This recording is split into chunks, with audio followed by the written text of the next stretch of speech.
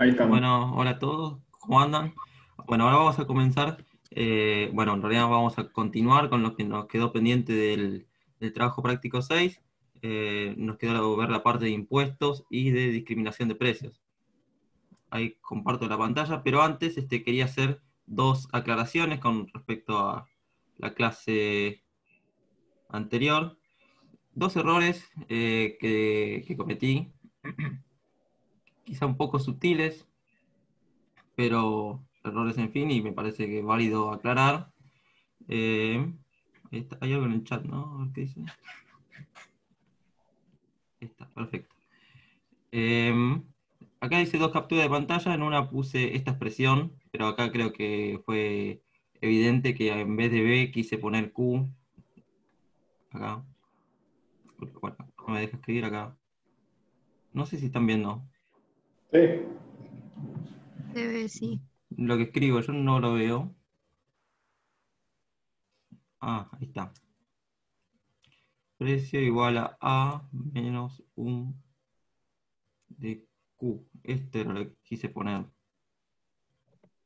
A sobre B en realidad. A sobre B. Sí. Sí, ¿cómo no me corrigieron? y después, em, cuando estaba hablando del índice Lerner, que decía que, em, como es, que mide la distancia vertical del precio con respecto al costo marginal, y yo marqué esto. En realidad era esto, como este es el precio competitivo, el precio de monopolio es esto.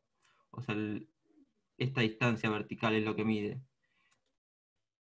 Sí, porque acá sea, no, sé por qué puse esto, pero bueno, o sea, eh, si efectivamente midiera esto, nos daría que en el equilibrio competitivo tendríamos poder de mercado, y eso no es cierto. ¿Por qué? Porque el índice de Lerner acá es cero. Así que solamente quédense con... Mario, me el parece que eso estaba bien, ¿eh? Me parece que eso No, estaba pero pasa, En el equilibrio No. de mercado, el precio de competencia es igual al, al costo marginal. porque el índice de Lerner mide la diferencia entre precio y costo marginal.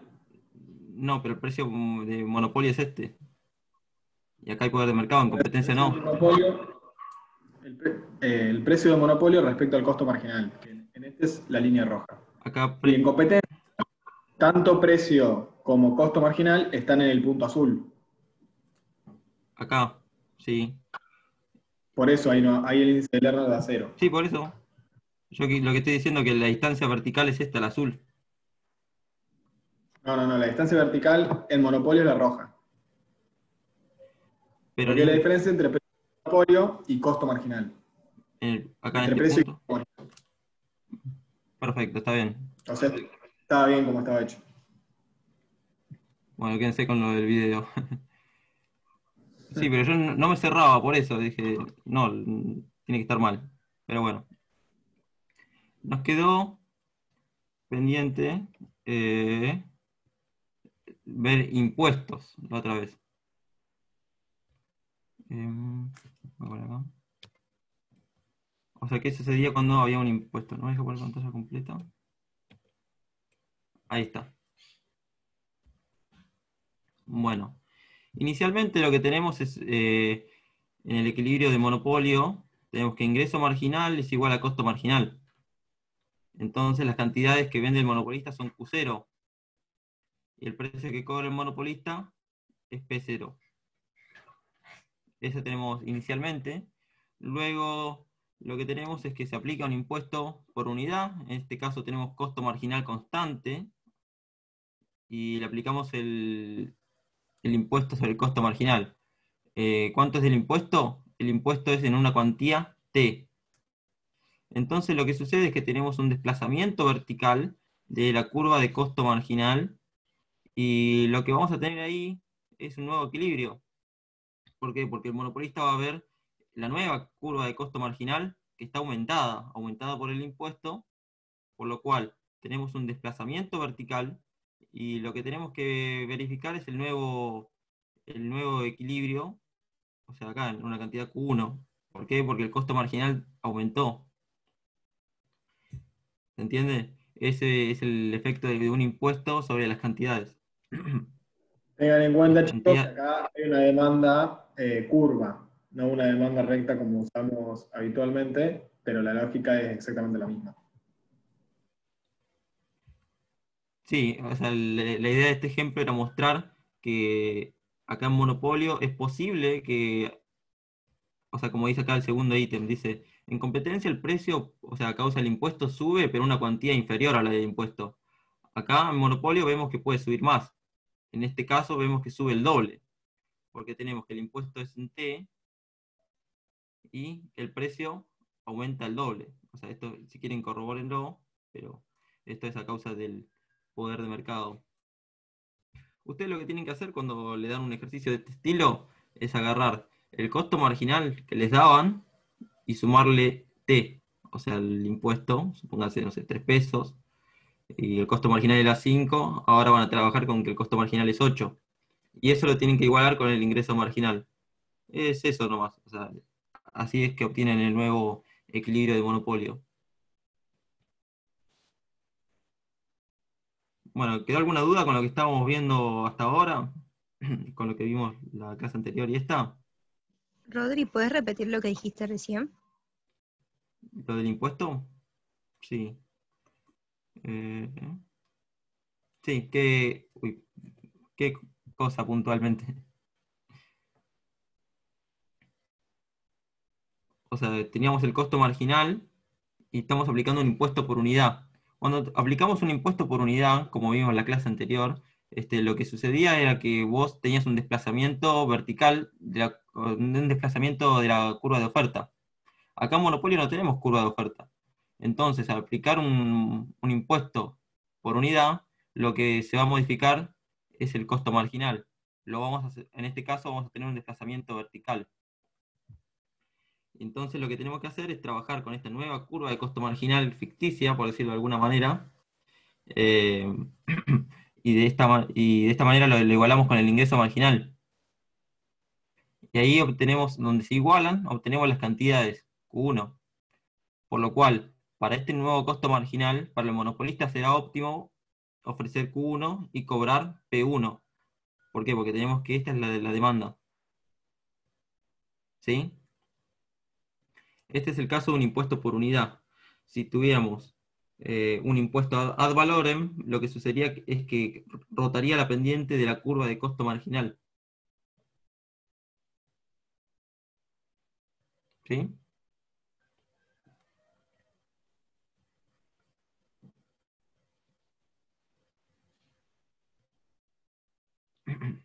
Bueno, ahora nos queda continuar con discriminación de precios. Este, quedó pendiente de otra vez. Es cortito igual.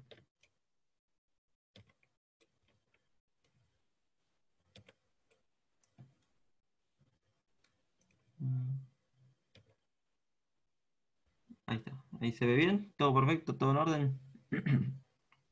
bueno. Ahora lo que queremos ver es el escenario en el cual el monopolista puede discriminar precios. Es decir, que puede cobrar precios distintos a, distintos agentes en distintas regiones. Para eso vamos a ver que existen tres grados. Puede discriminar en primer, segundo o tercer grado. Si discrimina en primer grado, la discriminación va a ser perfecta. Si discrimina de manera imperfecta, lo estará haciendo en segundo o tercer grado. El caso de primer grado es este, el caso de discriminación perfecta en el cual el monopolista, digamos que puede identificar sin ningún tipo de problema a cada tipo de consumidor y así cobrarle a cada uno un precio distinto. O sea, conoce las disposiciones a pagar y, o sea, conoce la demanda. Entonces, este, a uno sin, sin ningún tipo de problema puede cobrarle a un, precios distintos. Esa es la idea. Por eso se llama discriminación perfecta. Si discrimina en segundo grado, lo que va a pasar es que tenemos, digamos, a un monopolista que no los distingue, o sea, no sabe quién es quién efectivamente. Pero eh, lo que hace es elaborar distintos tipos de productos, en este caso conocidos como paquetes, buscando que ellos mismos, este, los consumidores, se seleccionen y así compren el paquete que, por decirlo de alguna manera, entre comillas, está diseñado para, para un individuo como él.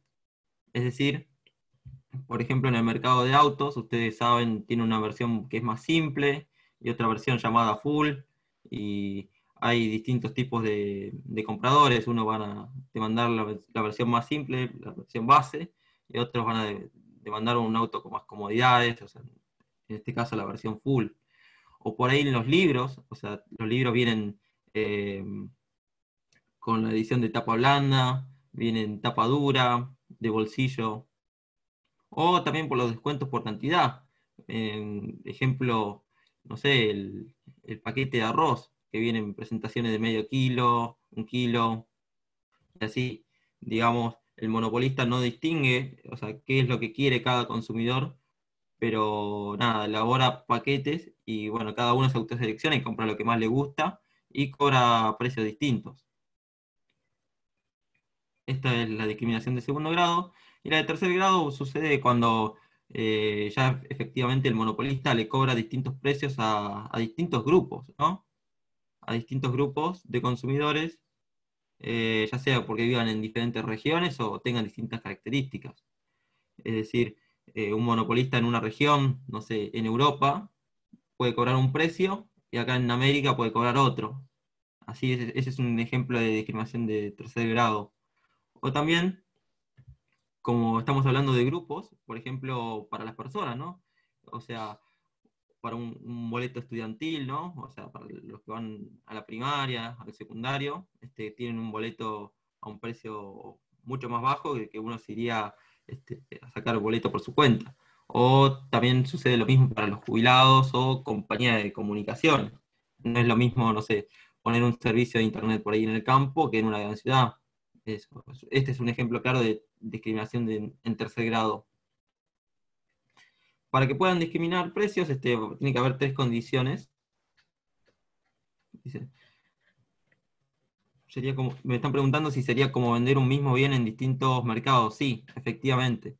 Y como el monopolista conoce la demanda de cada uno, y si se cumplen estas condiciones para poder discriminar, efectivamente el monopolista podrá vender en distintos mercados a distintos precios, efectivamente. Para que esto suceda tiene que haber poder de mercado y tiene que conocer también las disposiciones a pagar de cada consumidor. Pero este, digamos, es, más relajable, un supuesto que tiene que cumplirse a rajatabla.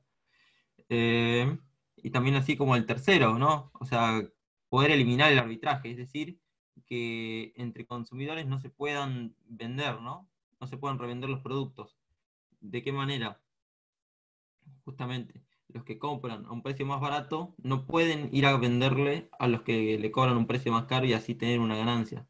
Acá suponemos que eso no, puede pasar, porque si no, no vas a poder discriminar precios. Acá les traje un ejemplo, el cual no, es el de trabajo práctico, pero con esto quiero que comprendan cómo es que razonamos eh, los ejercicios en el cual tenemos discriminación de precios. en el punto A lo que vamos a tener es que tenemos, tenemos que el monopolista no puede, no puede discriminar precios. Entonces va a tener que cobrarle el mismo precio en ambas regiones para vender el bien, si es que lo va a vender en ambas regiones.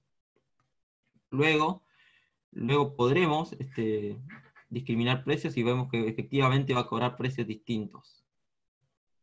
Acá suponemos que estas son las demandas, estas que están acá. El costo marginal es igual a 20. Bueno, ahora qué pasa si el monopolista no puede discriminar precios. Bueno, lo que tenemos que hacer es ver una sola demanda, en este caso la demanda de mercado. Para eso lo que tenemos que hacer, recuerdan, eh, acá tenemos las, expresiones de, esta manera. Q de A y Q de B este, estas son las expresiones. Entonces, para obtener la demanda de mercado, recuerden que sumábamos las cantidades, por lo cual sumamos esta expresión y esta. Así obtenemos la demanda de mercado, que va a venir dada por, primero, la suma de estas dos, que es 180 menos 2p, y 100 menos p. Bueno, lo van a ver más claro en el gráfico. ¿Por qué? Porque según cómo está definida la función, si el precio es mayor a 80, los, consumidores de la región B no van a comprar. No, porque si acá ponemos 80, ya la cantidad demandada por B es cero. Y lo mismo va a pasar para la región A cuando el precio sea 100. Van a dejar de comprar a ese precio. Por lo cual, si el precio está entre 0 y 80, o sea, es menor a 80, la demanda de mercado va a ser esta, la que está acá, por afuera. Para este rango de precios, los que van a consumir son los consumidores de la región A y B.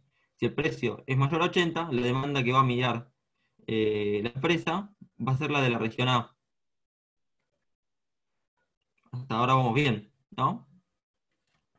Lo que queremos ver es si la empresa le conviene vender solamente en la región A, porque, porque puede cobrar un precio superior a 80, o si le va a convenir este, vender a un precio inferior a 80, o sea, donde venda en ambos mercados, pero tienen que, tener, tienen que cobrarle un mismo precio.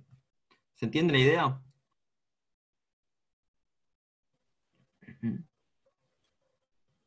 Esto es lo que tenemos hasta ahora. Bueno, ahora lo que vamos a hacer, yo lo que voy a probar es ver si maximiza para este tramo de la demanda. Es decir, si maximiza beneficios vendiéndole a tanto a, la región A y a la región B. Para eso es el mismo problema de siempre, pero nada más que tomaré esta función. Esta función, esta es la de acá de arriba. Por lo cual, como está expresada de esta manera, Q igual a 180 menos 2P, yo lo que quiero obtener es P. Para eso la voy a invertir. Más claramente lo hago acá. Tenemos Q igual a 180 menos 2P, la invertimos y obtenemos que es 90 menos un medio de Q.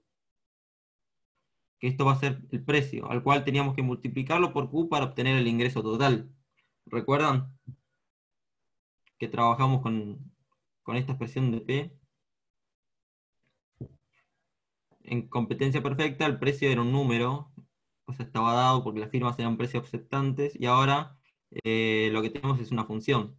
Tenemos esto, por lo cual lo multiplicamos por Q y derivamos y obtenemos el ingreso marginal, como veníamos haciendo siempre. Vemos que el ingreso marginal tiene el doble dependiente, acá era un, un medio y acá es 1 en valor absoluto. Bueno, tenemos el ingreso marginal, tenemos que igualarlo con el costo marginal. El costo marginal dijimos que era 20. Por lo cual, simplemente despejamos esto y tenemos que Q es igual a 70. Lo evaluamos en la demanda, en el ingreso medio, y obtenemos que el precio que va a cobrar va a ser de 55. O sea, reemplacen esta expresión. 90 menos un medio de Q. Ahora, podríamos hacer lo mismo para ver si maximiza en este tramo. Para eso lo que tenemos que trabajar es con esta expresión, 100 menos P. Yo acá se lo dejo como tarea, pero tienen que comprobar que van a llegar a que el precio es 60 y las cantidades son 40. ¿Sí? Entonces, lo que tenemos que hacer es ver qué conviene hacer. Si le vende a ambas regiones o le vende solo la región A. Como dijimos, en el tramo 1, o sea, yo llamé a esto tramo 1, que es todo este tramo, va, este tramo en realidad, eh, donde la demanda va hasta 180, o sea, la que va por afuera, porque la demanda donde le vende, o sea, que viene dado por la suma de las demandas de A y B, si maximiza en este tramo o si maximiza solamente vendiendo por acá, eh, en un precio superior a 80 vamos a ver que efectivamente eh, para venderle a la región B, o sea, a la región A, va a cobrar un precio inferior a 80 y no va a maximizar beneficios. Por lo cual le va a convenir cobrar a ambos consumidores un mismo precio, pero va a vender más. Es decir, va a vender 70 unidades a 55 pesos cada una. Por lo cual va a, maximizar en el tramo en el cual le vende a ambas regiones, A y B a un precio de 55. El monopolista lo que quisiera hacer originalmente es cobrarle precios distintos a los consumidores de las distintas regiones. pero no lo puede hacer acá en este caso. Ahora, si calculamos el poder de, mercado medido por el índice de Lerner, vamos a ver que es este. Tenemos calculado de formas alternativas. Recuerdan que la expresión de este era precio menos costo marginal sobre precio. Y nos da 0,63. Y después teníamos 1 sobre la elasticidad precio de la demanda. Si lo calculamos, acá se les dice por ustedes todo el cálculo y les demuestro que da lo mismo.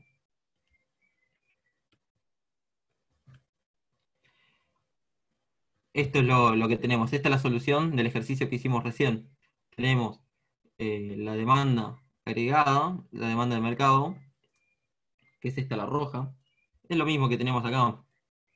Nada más que acá le, le grafiqué la solución eh, de forma más clara. O sea, tenemos la, la ingreso marginal, vemos que se igualaba con 20, que es el costo marginal, y determinamos que las cantidades eran 70 y el precio era 55.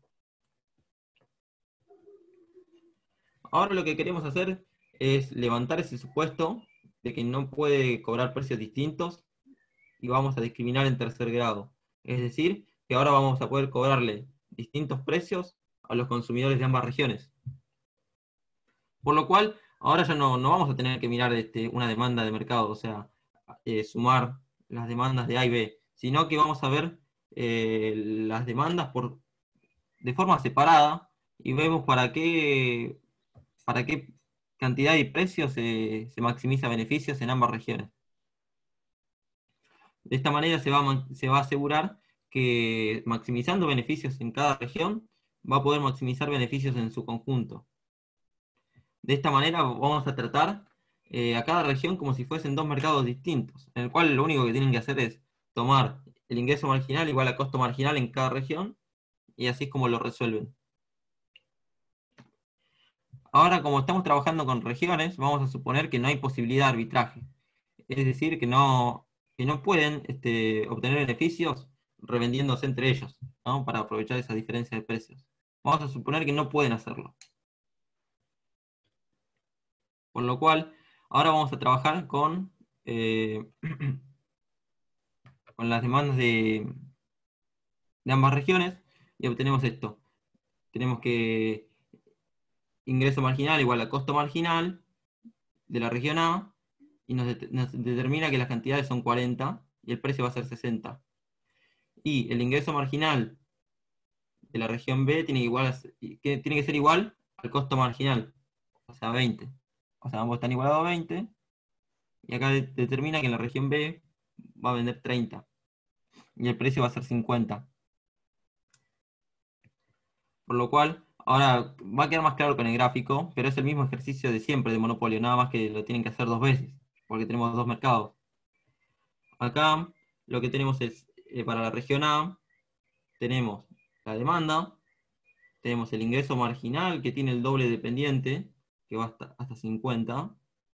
Vemos que se iguala con el, con el costo marginal en 20. Acá me salió una línea punteada, pero es una recta y vemos que las cantidades son 40. Y el precio va a venir dado por, eh, el valor que toma el ingreso medio cuando las cantidades son 40. El precio va a ser 60 para la región A.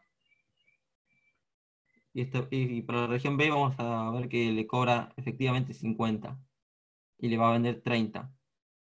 O sea, cuando discriminamos precios, tenemos que mirar a cada región como si fuese un mercado particular y maximizar beneficios ahí. Nada más. Es eso. Acá lo que dice, bueno, fue, digamos, este, superponer ambos gráficos. Eh, es lo mismo que teníamos tanto acá y acá, solamente que incorporé eh, las demandas de, cada región. Vemos que el ingreso medio de A va acá y la de B tanto la de ingreso marginal, que tiene el doble dependiente, vemos que se igualan, o sea, se maximiza donde el ingreso marginal es igual a costo marginal, y ahí vemos qué precio y qué cantidad vende en cada región. Dijimos que para la región B vendía 30 a 50. 30 a 50. Y para la región A va a vender 40 a 60. Bueno. Ahora lo que podemos hacer es eh, calcular los beneficios producto de la discriminación. Lo que tenemos que hacer es, acá tenemos P por Q más P por Q, o sea, pero en realidad este precio y esta cantidad son de la región A, este precio y esta cantidad son de la región B. Eso va a constituir lo que son los ingresos de, la empresa, del monopolista. El ingreso total en A y, y el ingreso total en B. Y acá lo mismo para los costos los costos de la empresa. Suponemos costo marginal constante, por lo cual hacemos 20 por 40 y menos 20 por 30, que son las cantidades 40 como 30, las, cantidades que venden tanto en A como en B. Si calculamos esto, tenemos que el beneficio del monopolista va a ser de 2.500, y es mayor al que obtenía cuando, eh, cuando no podía discriminar precios, que es, este, es 2.450. Acá es claro que lo va a ayudar a, maximizar sus beneficios, la discriminación. O sea, no es óptimo para él cobrarle un mismo, un mismo, un mismo precio a cada región, siendo que los consumidores son distintos, tienen distintas valoraciones y puede cobrar eh, otros precios que se acomoden mejor a, lo que prefiere el monopolista.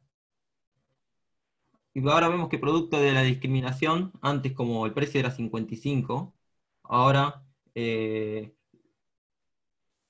Dice, antes los consumidores de la región A pagaban menos y ahora van a pagar más. ¿Se entiende? O sea, hay una región que se beneficia y otra que se perjudica producto de la discriminación. Ahora les dejo como tarea, bueno, que calculen, más que nada para que jueguen, pero ya tienen la fórmula del índice de Lerner. Eh, o sea, para cada región tienen que calcularlo. ¿Qué poder de mercado tienen A? y qué poder de mercado tiene la región B. Y eso compárenlo con el índice de Lerner que calculamos, para el cual no podía discriminar precios. Y ahí les pregunto, ¿qué observan de eso? Así que nada, si no tenemos más dudas con respecto a eso, muchas gracias.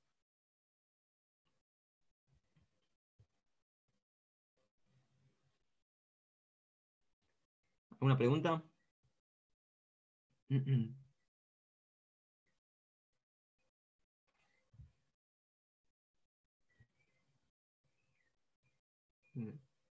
Bueno, no, gracias a ustedes.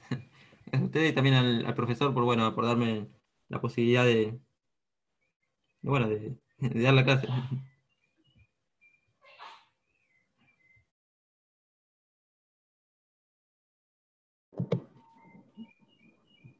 Muy bien, Bueno, cualquier, cualquier cosa, si no, no se entendió algo, pregúntenme, yo no tengo, no tengo problema.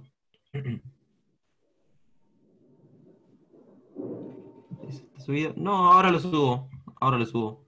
O sea, es lo mismo que tenían antes, pero nada más que le agregué los gráficos y por ahí puse algo un poco más lindo, pero es lo mismo.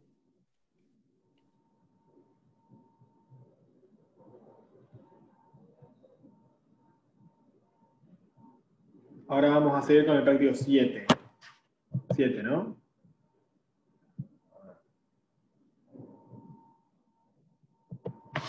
¿Seguís compartiendo pantalla?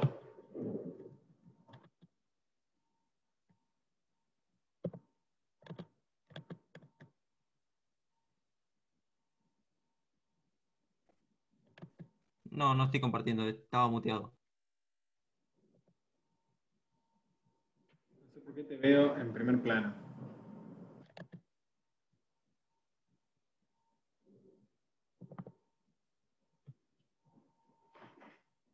No es que me moleste. ¿eh?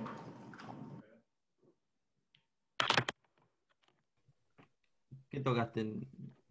¿Pusiste vista del hablante? No sé.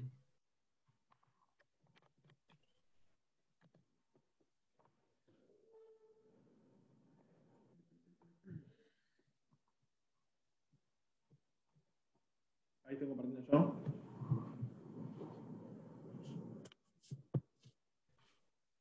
Sí, sí, se ve, se ve.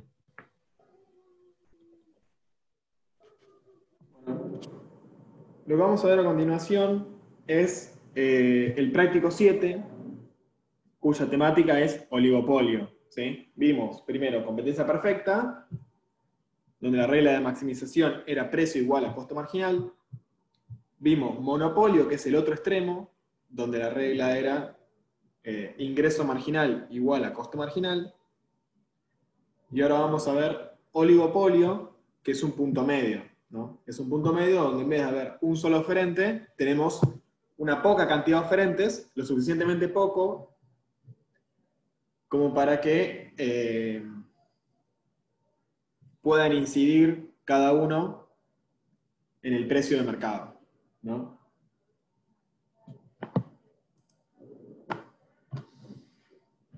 Esto va a estar muy relacionado con lo que se llama la teoría de los juegos, ¿sí? Eh, que es toda una línea de, de investigación que tiene que ver con analizar cómo se comportan distintos actores eh, cuando tienen que decidir entre, entre pocos una serie de estrategias que les reporta distintos resultados. ¿no?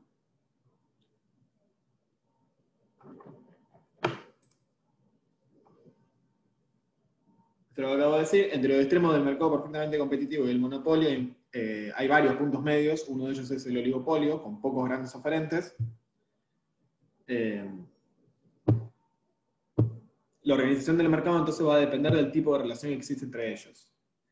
Ahí es donde entra eh, el análisis del juego estratégico. ¿no? Hablamos de juego estratégico cuando decimos que un actor va a pensar lo que va a hacer, es decir, cuánto va a producir o qué precio le va a poner a su, mercadería, eh, en función de lo que hagan otros actores. La palabra estratégico es un término que viene de, la ciencia militar, donde cada jugada depende de qué jugada espero que haga mi, oponente, mi competidor o otro actor, en definitiva. Es algo que no sucede en competencia perfecta porque la acción de un actor no, no mueve el amperímetro, entonces, no importa, como lo que yo haga no incide, no estoy analizando qué hacen los demás porque tampoco me incide a mí.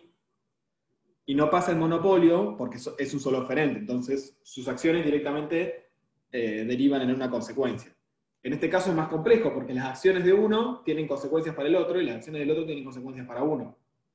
Con lo cual, hay entre toda esta cuestión de teoría de los juegos, de los juegos se refiere porque si yo voy para allá, y él va para acá, vamos a tener este resultado. Si yo voy para allá y él va para acá, vamos a tener otro. Y si yo voy para allá y él va para allá, otro resultado, y así sucesivamente. ¿no?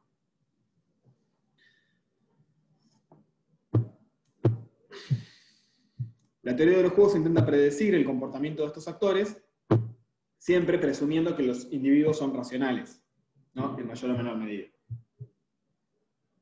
En la teoría de los juegos vamos a tener tres elementos. Los actores, que en general van a ser dos eh, oferentes, ¿no? o sea, caso de duopolio, pero podrían ser tres o, más, siempre pocos. Además de actores va a haber estrategias, es decir, uno va a decidir hacer una cosa o hacer la otra. Esas estrategias pueden ser dedicarse a un segmento de mercado o al otro, pueden ser invertir o no invertir, o puede ser los términos en los que venimos viendo, decidir qué cantidad producir. Si produzco una unidad, dos unidades, tres unidades, diez unidades, cada una de esas es una distinta estrategia. Es decir, las elecciones que toman esos actores son las estrategias. La combinación de las estrategias de los distintos actores va a resultar en pagos. ¿Sí? Depende qué hago yo y qué hace el otro, entonces yo voy a obtener un determinado resultado. Esos resultados se denominan pagos. Entonces tenemos actores, cada uno toma distintas estrategias, y la combinación de esas estrategias resulta en pagos obviamente cada actor va a procurar obtener los mayores pagos, que en términos microeconómicos sería el mayor beneficio económico, y con lo cual va a pensar su estrategia en función de cuál va a derivar en mayores beneficios, siempre teniendo en cuenta qué hace el otro. En esto va a aparecer la cuestión del equilibrio de Nash. Nash, como saben, es un economista muy famoso que se dedicó bastante a esta cuestión de la teoría de los juegos. Un equilibrio de Nash Es un equilibrio donde cada empresa o cada actor, en realidad, obtiene el mejor resultado posible dado lo que hacen sus, competidores. Es decir, yo sé que el otro tomó determinada decisión y yo tomé determinada decisión. Esas dos decisiones, esas dos estrategias, son un equilibrio de Nash en la medida en que para mí sea la que más me conviene dado lo que hizo el otro, y para el otro sea lo que más le conviene dado lo que hice yo.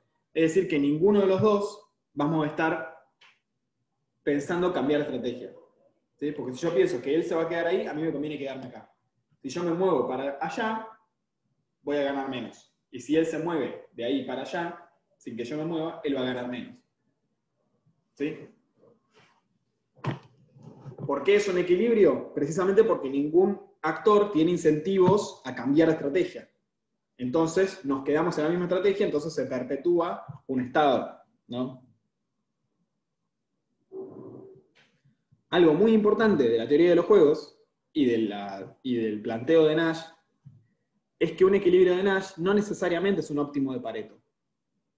Óptimo de Pareto, algo, algo mencionó Rodri en su clase, la, vez anterior. Un óptimo de Pareto quiere decir eh, que se obtiene en su conjunto el máximo beneficio posible. En términos de que para que alguien gane más, otro tiene que ganar menos, sí o sí. No pueden ganar más todos. O no puede ganar más unos y el otro se queda igual. Entonces el conjunto de los beneficios es el máximo posible. Es importante saber que puede haber muchos óptimos de Pareto. Es decir, si yo gano 100 y Rodri gana 0, eso puede ser un óptimo de Pareto. En la medida en que no pueda pasar que yo gane 100 y él gane 10. Si eso puede pasar, entonces no es un óptimo de Pareto. Y puede haber otro óptimo de Pareto que es que yo gane 50 y él gane 50. Ese también es un óptimo de Pareto, siempre y cuando no pueda uno ganar 60 y el otro seguir ganando 50. ¿Se entiende? Es decir, la suma del beneficio es el máximo posible. No importa cómo está distribuido. Como no importa cómo está distribuido, cualquier distribución es óptima de Pareto siempre y cuando la totalidad sea la máxima posible. Lo que, lo que es tan importante que planteó Nash es que no necesariamente un equilibrio de Nash es un óptimo de Pareto. O sea, yo puedo estar en la mejor estrategia para mí y Rodri puede estar en la mejor estrategia para él, pero puede no ser lo mejor para el conjunto. Capaz que yo estoy ganando 10 y él está ganando 10, y si nos pusiéramos de acuerdo, los dos podríamos ganar 20. ¿Sí? Pero si no nos ponemos de acuerdo yo me muevo, a mí no me conviene, y si no nos ponemos de acuerdo y él se mueve, a él tampoco le conviene. Entonces, ninguno de los dos se va a mover. Y como ninguno de los dos se va a mover, en el equilibrio no va a haber un óptimo. Que en su momento fue, eh, de alguna manera, una transgresión a lo que venía planteando la teoría microeconómica, que era las fuerzas del mercado solas van a llegar a un equilibrio. Bueno, él dice, ojo, cuando son pocos actores, y cuando la acción de un actor influye en el otro, eso no, necesariamente pasa. Incluso puede ser lo contrario, puede ser que lo más óptimo sería que cooperen para ellos. Después de esto se discute de vuelta porque dicen, bueno, pero entran otros factores como el excedente del consumidor, etc. Yo traje eh, un fragmento de la película Una mente brillante, que ahora vamos a ver, que es un fragmento que no tiene eh, criterio de género, pero que me parece, siempre me pareció muy pintoresco. Eh, para pasarlo en una clase, es un fragmento de una película, donde la película se trata sobre la vida de Nash. Eh, fundamentalmente centrada en su enfermedad porque él padeció esquizofrenia. Es una película muy interesante. En este fragmento es el momento en el que teóricamente, ¿no? o sea, obviamente es una película, Nash razona que no necesariamente la competencia llevaba al óptimo. Digo que no tiene criterio de género porque lo hace en un contexto donde están eh, discutiendo sobre mujeres como si fueran eh, un trofeo, pero excusándome de eso, lo pongo para que lo vean porque me parece que el fragmento de la peli es súper interesante en esta discusión de competencia contra cooperación.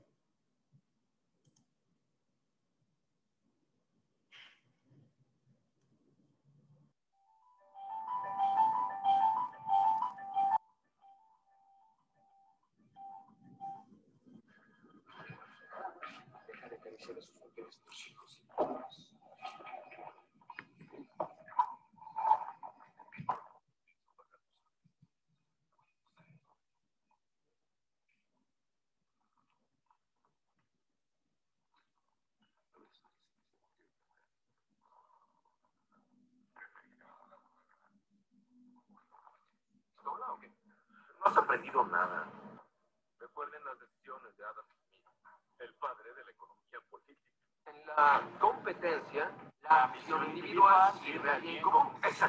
Todos para sí mismos, amigos. Y aquellos que fracasen se rezagarán. Pues yo no voy a fracasar. Puedes llevar a una rubia al agua, pero no hacerla beber. No, no era así. Quietos. Está bien, Nash. Oh, Dios. Bueno, va a la cabeza, pero dejen que abra la boca. Como la última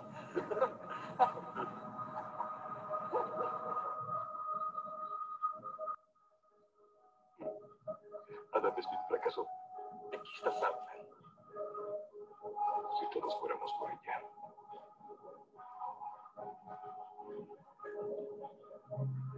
Nos estorbaríamos. Y al final ninguno la tendría. Entonces iríamos por sus amigas. Pero nos daría la espalda, pues a nadie le gusta ser segunda opción. Pero ¿qué tal si nadie va por la rubia? Nos estorbaríamos. No disfrutaríamos a las demás chicas. Y ganamos todos. Nos acostaríamos todos, ¿no creen?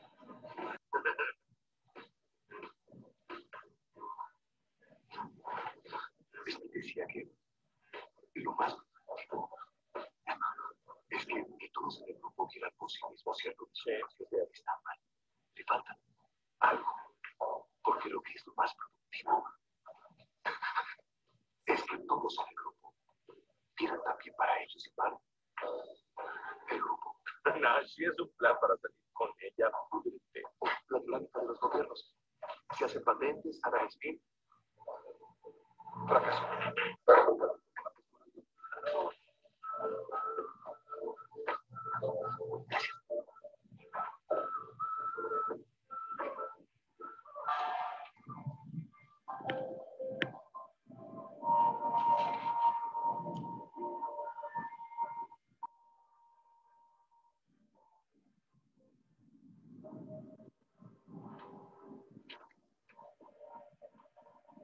Que esto contradice 150 años de teoría económica.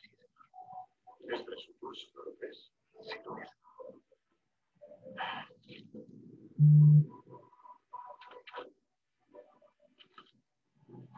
Bien, señor Nash. Con algo de esta magnitud, confío en que podrá obtener el apoyo que desee.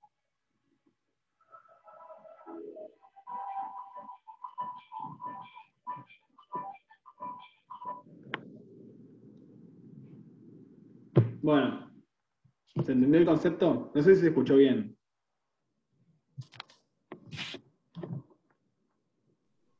Yo lo escuché como medio cortado. Medio cortado. Bueno, básicamente, en síntesis, están con los amigos discutiendo eh, sobre unas chicas.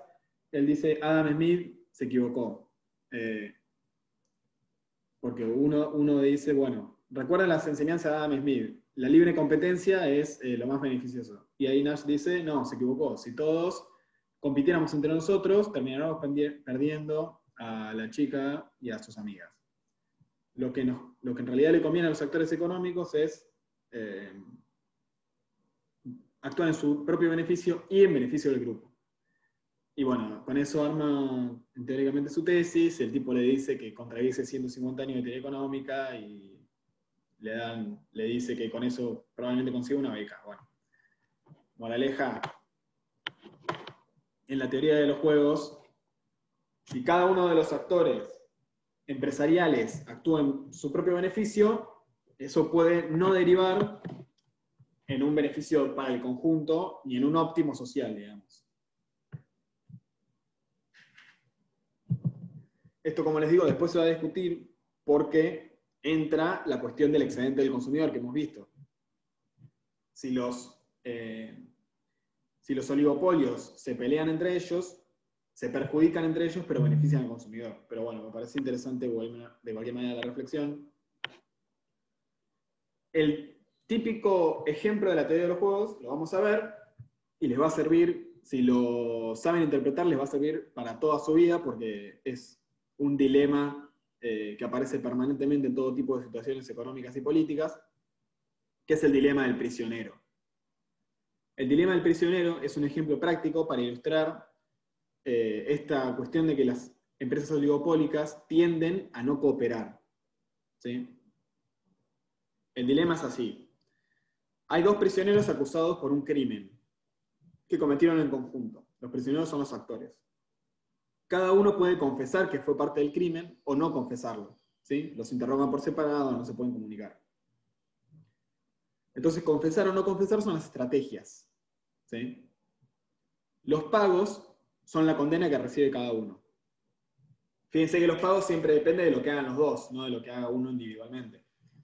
Si uno de los prisioneros confiesa, pero el otro no confiesa, entonces el que confesó el crimen por haber colaborado le dan un año de condena. Al que no confesó, por mentiroso, le dan 10 años de condena. ¿Sí? Entonces el que confiesa, zafa, y el otro caga. Si ocurre al revés, lo mismo, ¿no? Si ambos confiesan, entonces cada uno recibe 8 años. ¿Sí? Si los dos confiesan, no hay uno que se beneficie por ser más buchón que el otro, entonces los dos reciben 8 años. Ahora, si ninguno confiesa, como no hay suficientes pruebas, pero igual el juez está convencido que fueron ellos, pero no tiene una confesión, solamente logra darle 5 años a cada uno, si ninguno de los dos confiesa. ¿Bien? Si uno confiesa y el otro no, el confesor tiene un año y el otro 10. Si los dos confiesan, tienen 8 años cada uno, y si ninguno de los dos confiesa, tiene 5 años cada uno. ¿Qué sucede con esto? Ahí. Esto es una matriz de pagos, que se los voy a explicar cómo funciona. El prisionero A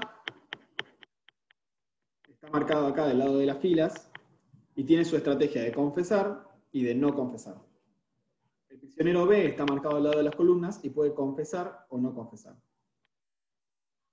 Cada uno de estos números entre paréntesis son los pagos. ¿no? Siempre los pagos, el de la izquierda es el de las filas y el de la derecha es el de las columnas. O sea, el de la izquierda en este caso es el prisionero A y las columnas es el prisionero B. Nosotros, ¿cómo interpretamos esto? Si el prisionero A confiesa, estamos en esta fila.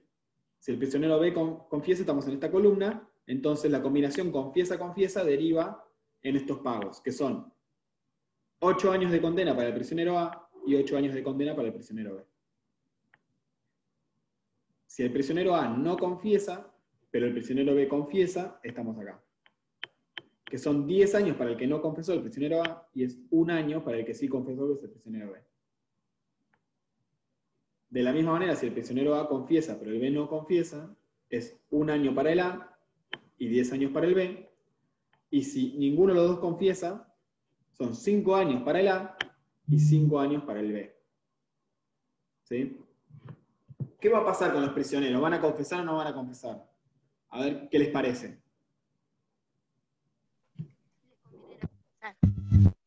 No escucho.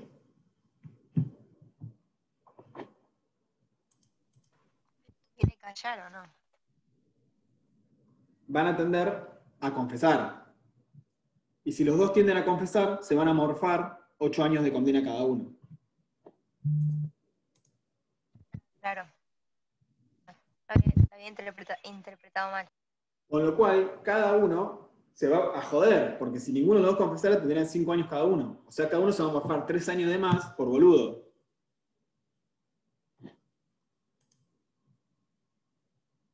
El tema es, perfectamente, como dice, como dice Brian, si se ponen de acuerdo, nadie confiesa. No se pueden poner de acuerdo. Vos tenés que confiar en lo que va a hacer el otro. Seguramente antes del robot te pusiste de acuerdo, pero una vez que estás en la celda y una vez que estás en el interrogatorio y una vez que te dicen que vas a estar preso, dudás de lo que va a hacer tu compañero. Como vos no sabes lo que va a hacer tu compañero y no te puedes poner de acuerdo, y aunque te pudieras poner de acuerdo, tenés que confiar en que el otro lo va a cumplir. ¿Sí? Porque vos te arriesgas mucho.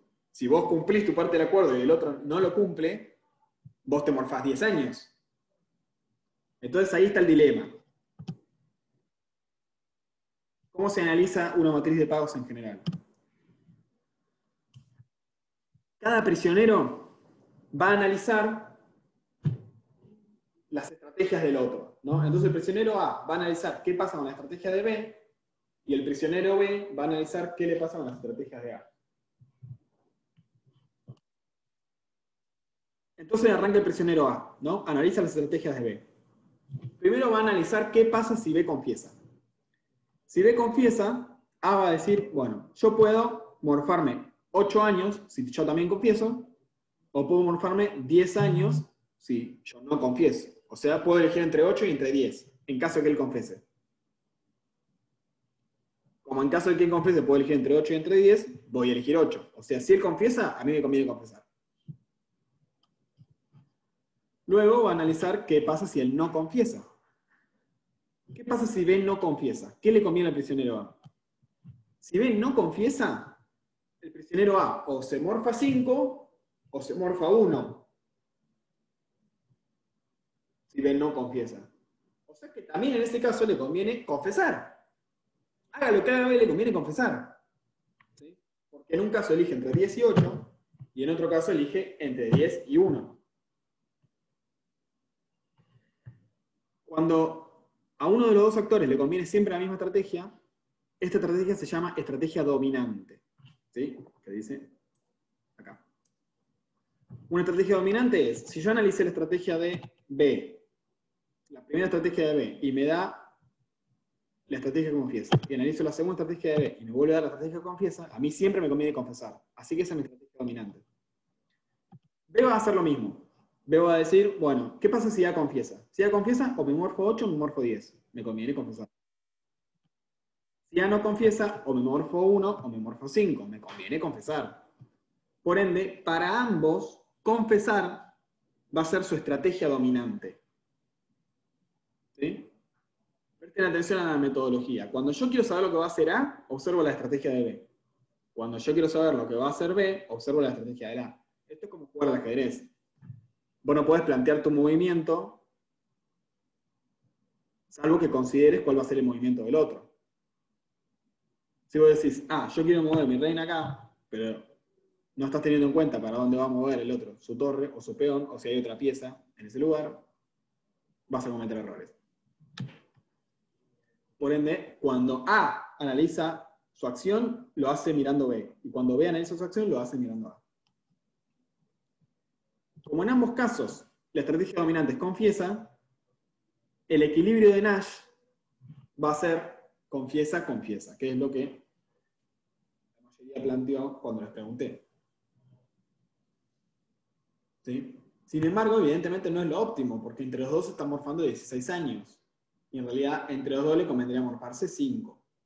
Lo que pasa es que si se morfan 5 cada uno, cualquiera de los dos tiene incentivos a cambiar su estrategia y confesar. Si yo me enteré que el otro no confesó y yo no confesé, yo voy a ir y confieso. Y me morfo un año. Como yo tengo miedo que mi compañero me haga eso o haga lo mismo, directamente confieso, me aseguro y nos cagamos mutuamente.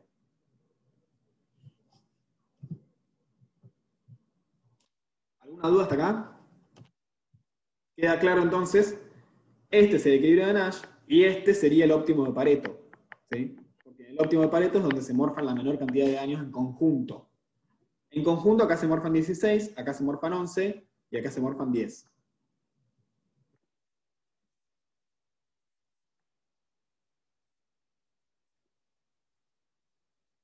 El óptimo de Pareto, claro, sería que no confiesa.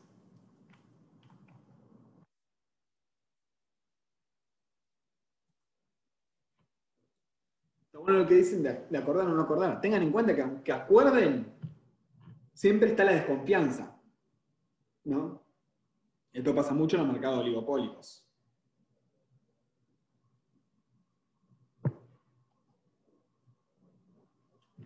Un dilema del, o sea, como les digo, el dilema del prisionero se puede analizar en muchos contextos, en muchos, muchos, muchos contextos. Uno fácil de analizar es eh, en los canjes de deuda que hizo el gobierno durante el año, el gran canje de deuda de, los dólares, más o menos todos nos fuimos enterando, pero previamente hubo algunos otros canjes de deuda cuando recién asumió el gobierno, la situación era muy, muy, muy complicada, incluso en pesos, hubo un caso que fue el bono AF20. ¿no? Un bono es, el Estado emite un bono, recibe cierto dinero, cuando vence ese bono, tiene que pagar ese dinero más intereses. El bono AF20 era un bono que eh, era atado al dólar, como los que están emitiendo en este momento, eh, y que había crecido muchísimo eh, la carga de deuda. El gobierno les ofreció a los tenedores de ese bono, que no son dos actores, son muchísimos, porque están los grandes fondos y además está cualquier persona que tenga una cuenta en el banco comitente puede comprarlo. Entonces, yo puedo tener un valor nominal de ese bono y estoy soy un actor más. ¿no? Obviamente que están los grandes y los chicos. Pero... ¿Cuál es la historia? El gobierno le ofrecía, miren, eh, le ofrezco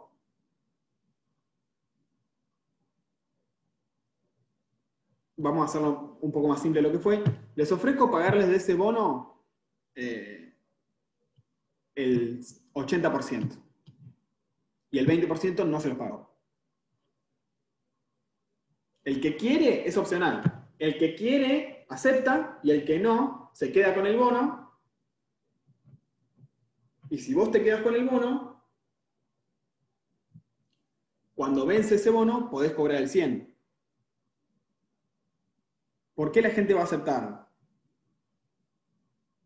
Porque si nadie acepta, o si muy pocos aceptan,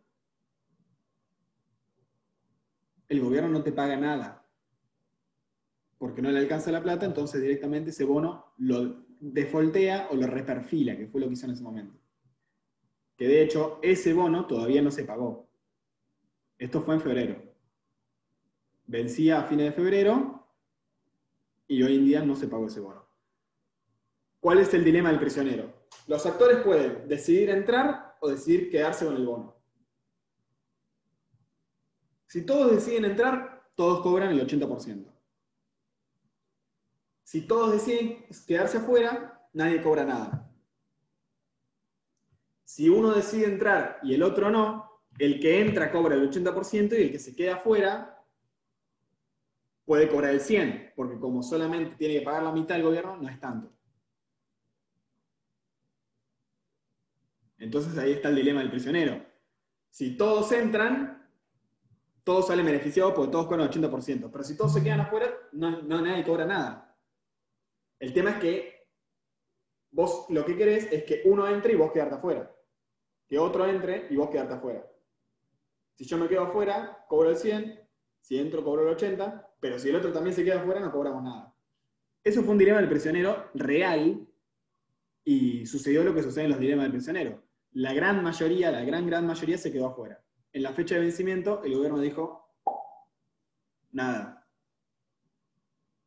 Con pérdidas enormes.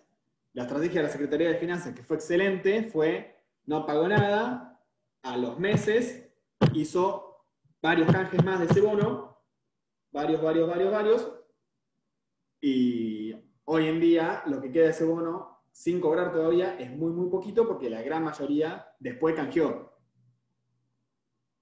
No canjeó la primera, pero después, cuando vio que muchos habían quedado fuera, decidió canjear y bueno, esa es la situación. Un dilema del prisionero en la vida real, ¿no? Y como esto, eh, infinitos ejemplos. Desde el ejemplo que está en el libro de Pindic, que dice, bueno, una pareja, uno quiere ir al teatro y el otro quiere ir al cine. Eh, pero ninguno quiere, los dos quieren hacer lo que uno quiere hacer, pero ninguno quiere ir solo, los dos quieren ir acompañados. Entonces, si los dos van al teatro, es mejor a que si uno va al cine y otro al teatro. Bueno. De esa manera, infinitos, infinitas aplicaciones. La verdad que es una herramienta muy interesante para cuando uno eh, piensa la realidad, interpreta la realidad, prever un poco lo que puede llegar a pasar.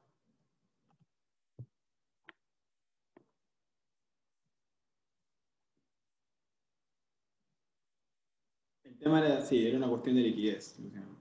No había quita en ese momento. Bueno.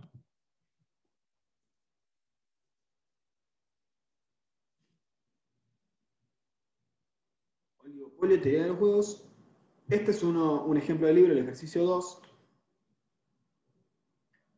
donde van a ver que acá no hay estrategias dominantes, entonces puede haber más de un equilibrio de Nash. Fíjense que este es el caso donde hay dos firmas, la firma 1 y la firma 2, y tienen dos estrategias.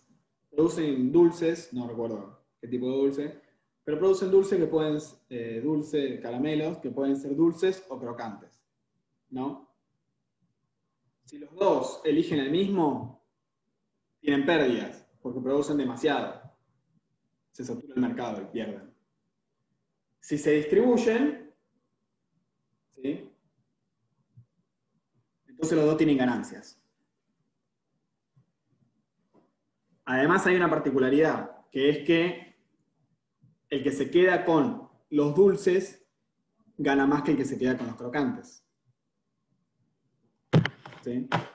Entonces, fíjense cómo funciona esta matriz de pagos. Si la firma 1 elige crocante y la firma 2 crocantes, la firma 1 pierde 5, la 2 pierde 5. Si la firma 1 elige dulce y la 2 crocante, la firma 1 gana 20 y la firma 2 gana 10. Si la firma 2 elige dulce y la 1 crocante, la 1 gana 10 y la 2 gana 20, y si ambas eligen dulce, pierden 5 cada uno. Obviamente que las dos quieren elegir dulce. También las dos quieren elegir algo diferente que el otro, porque cada una prefiere ganar 10 que perder 5. Vamos con nuestra metodología para analizar la materia de pagos. La firma 1, para elegir su estrategia, va a, a pensar cuál va a ser la estrategia de la firma 2. Si la firma 2 elige crocante, a la 1 le conviene elegir dulce, porque gana 20 en vez de perder 5. Si la firma 2 elige dulce, a la 1 le conviene elegir crocante. No le conviene elegir dulce, porque prefiere ganar 10 antes que perder. Obviamente prefiere ganar 20 que ganar 10, pero prefiere ganar 10 que perder 5. Entonces, la cuestión es que la firma 1 no tiene una estrategia dominante. No es que siempre va a elegir dulce. Si supiera que la firma 2 va a elegir dulce, no puede hacer nada para cambiarlo, va a elegir crocante. Con la firma 2 pasa más o menos similar. Si la 1 elige crocante, le conviene dulce, y si la 1 elige dulce, le conviene crocante. Entonces tampoco tiene una estrategia dominante. Lo que deriva esto es en dos equilibrios de Nash. Si hubiera alguien que desde el cielo le dijera, vos vas a elegir dulce y vos vas a elegir crocante, supónganse que a la firma 1 le toca la dulce y a la 2 le toca la crocante, la 1 obviamente que no tiene incentivos a cambiar. La 1 podría cambiar de acá a acá. Perdón, de acá a acá. De dulce a crocante. Gana 20 y haciendo crocante perdería 5. No le conviene. La 1 no tiene incentivos a moverse. La 2 tiene incentivos a moverse. Puede pasar de ganar 10 a perder 5. No tiene incentivos tampoco. Ninguna de las dos firmas en este equilibrio de Nash, obviamente que la 2 por lo bajo va a putear, porque va a decir, ah, me tocó crocante, la puta madre. Pero no va a cambiar a dulce, porque si cambia a dulce, se revienta sola. No es que acá gana más que acá. Entonces, como acá se revienta sola, se va a mantener acá. Y se va a morfar ganar 10. Por lo menos no pierde. Si del cielo le dicen, vos firma 1, producí crocante, y vos firma 2, producí dulce, va a pasar lo mismo de este lado. ¿Sí? Ahora estamos en este equilibrio de Nash. También es un equilibrio de Nash, porque la firma 1 no le conviene pasar de crocante a dulce, porque se va para acá. Y esto pierde más que produciendo crocante. La firma 2 ni hablar que está chocha. Entonces, en esta situación va a haber dos equilibrios de Nash. Y fíjense que en esta situación, cualquiera de los dos equilibrios de Nash es un óptimo de Pareto. Cualquiera de los dos, porque la suma es, cada uno en conjunto van a ganar 30. Lo único que tienen que hacer es ponerse de acuerdo. ¿sí? Yo dulce, vos crocante, ¿está? Va a ser muy difícil ponerse de acuerdo porque cual- los dos quieren dulce. Pero si se ponen de acuerdo, ninguno de los dos va a tener incentivos a traicionar al otro. Esta es la diferencia con el anterior. En el anterior, si se ponían de acuerdo, había incentivos a traicionar. Ahora todo lo contrario. Si se ponen de acuerdo, que es más difícil, en el otro era fácil ponerse de acuerdo y difícil mantenerlo, acá es difícil ponerse de acuerdo y fácil mantenerlo. Si se ponen de acuerdo en cualquiera de estos dos puntos, ninguno de los dos va a traicionar al otro. ¿Se entiende? Díganme si voy muy rápido. Lo que pasa es que yo con este tema, como verán, la estoy pasando bomba.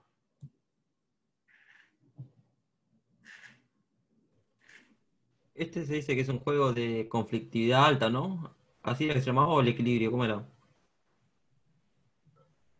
Eh, de equilibrio tiene dos equilibrios. Nunca he escuchado que se llame eh, juego de equilibrio, sí de conflictividad alta. Profe, ahí tenías este, dos preguntas en el chat. No sé si las habías leído.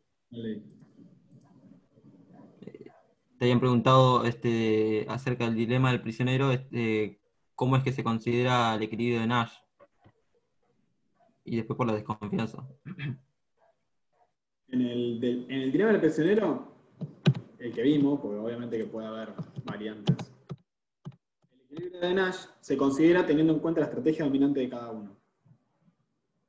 Y vos para verificar que es un equilibrio de Nash, vos mirá este equilibrio y fíjate si alguna de las dos firmas tiene incentivos a romper ese equilibrio. La 1 si pasa de confiesa a no confiesa, en vez de tener 8 años de condena, va a tener 10 años de condena. La 1 no, el prisionero va. En vez de 8 va a tener 10, porque se mueve para acá. El prisionero B, en vez de 8, va a tener 10 si cambia de estrategia. Como ninguno va a cambiar de estrategia, porque ir para allá o ir para acá no les conviene, entonces es un equilibrio de Nash.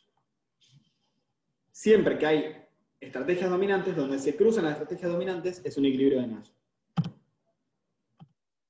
En este caso no hay estrategias dominantes. Para evaluar el equilibrio de Nash acá, vemos si alguna de las dos le conviene romper el acuerdo al que hayan llegado. Y no, en este caso ninguno le conviene ninguno de los casos. La otra pregunta. Sería una cuestión más ética que se lleve a un acuerdo para no pasar por arriba del otro y que tengan ambos un beneficio. Acá, si se llega a un acuerdo, llegues al acuerdo que llegues, no es una cuestión ética, es una cuestión de que no te conviene cagar al otro, porque si lo cagaste, cagás a vos mismo. Si yo, vos sos la firma 1, estamos en este equilibrio, donde a la, a la 2 tuvo la suerte que le tocó ser quien produce el dulce. La 1 está ganando 10, la 2 está ganando 20. La 1 lo único que puede hacer es, en vez de producir crocante, producir dulce. No puede hacer que el otro cambie. Entonces la 1 lo que puede elegir es o entre ganar 10 o cambiar de estrategia y ganar menos 5. No hay una cuestión ética, hay una cuestión de que no le conviene. ¿Sí? En la teoría de los juegos, nosotros la cuestión ética la pasamos por arriba, consideramos que los individuos son racionales, entonces si, les conviene traicionar al otro, lo traicionan, le chupan bien un huevo, y es bastante aproximado a lo que pasa en la realidad con las grandes empresas, ¿no? También hay que decirlo. Solo poniéndose de acuerdo se va a saber cuál es el equilibrio de Nash, porque si no se ponen de acuerdo podría darse cualquiera de las opciones. En la 2 hay dos equilibrios de Nash. No sabes cuál de los dos va a prevalecer.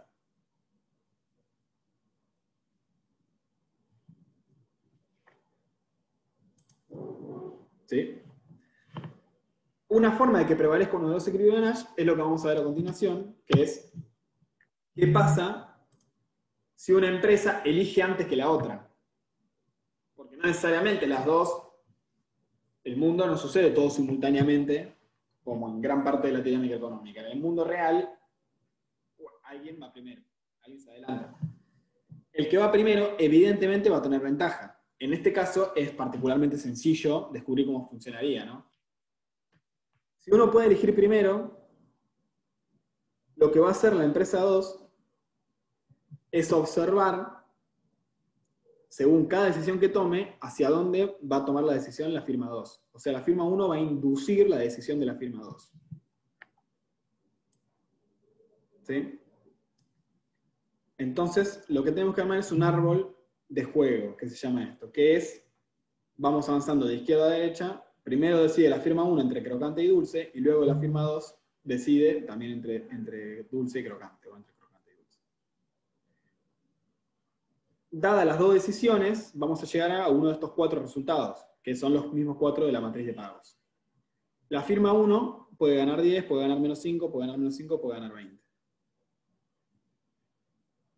A la firma 1 le interesa llegar acá. Para eso tiene que saber si la firma 2, si está en esta situación, elige dulce o elige crocante. Como la firma 2 acaba de elegir entre menos 5 o más 10, entre menos 5 o más 10 la firma 2 va a elegir crocante. Entonces la firma 1 lo que va a hacer es primero elegir dulce, obligando a la firma 2 a que después elija crocante. Y va a llegar al equilibrio que más le conviene.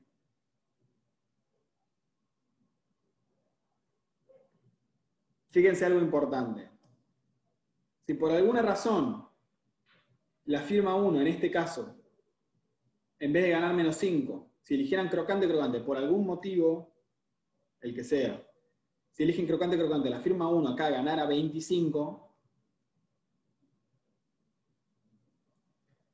igual la firma 1 va a elegir dulce. ¿Por qué? Porque en este punto de decisión, la firma 2, si puede elegir entre dulce y crocante, no importa lo que le gane la firma 1, la firma 2 se va a mirar así, me va a elegir dulce. Entonces la firma 1 no va a poder llegar a crocante, crocante, de ninguna manera. La firma 1 tiene que analizar qué va a hacer la firma 2, qué le va a convenir a la firma 2 cuando le toque elegir a la firma 2. Entonces va a analizar cada uno de estos cuatro equilibrios. Primero va a analizar cuál le conviene más. Una vez que elige cuál le conviene más, tiene que analizar si la firma 2 va a ir a ese equilibrio efectivamente o no. En el caso de dulce crocante, la firma 2 sí va a ir a ese equilibrio porque la firma 2 acá va a poder elegir solo entre esta opción, menos 5, menos 5, o entre la opción 20, 10. ¿Sí? Por ende, que haya elección secuencial garantiza que la firma 1 tiene ventaja. No garantiza que va a obtener el mejor resultado posible. En este caso sí lo obtiene, pero podría ser que no.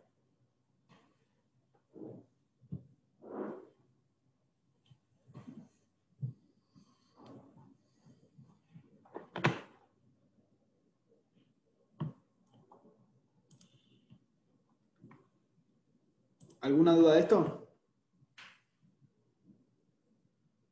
Después vamos a dar un, otro ejemplo. Creo.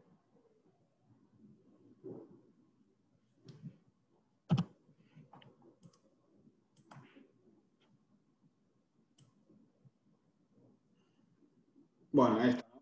La firma 1 va a analizar cómo reacciona la firma 2 ante su decisión. Si la firma 1 elige crocante, la firma 2 va a elegir dulce. Si la firma 1 elige dulce, la firma 2 va a elegir crocante. Entre esta opción y esta opción, a la firma 1 le interesa esta opción, por ende, elige dulce para que la 2 elija crocante.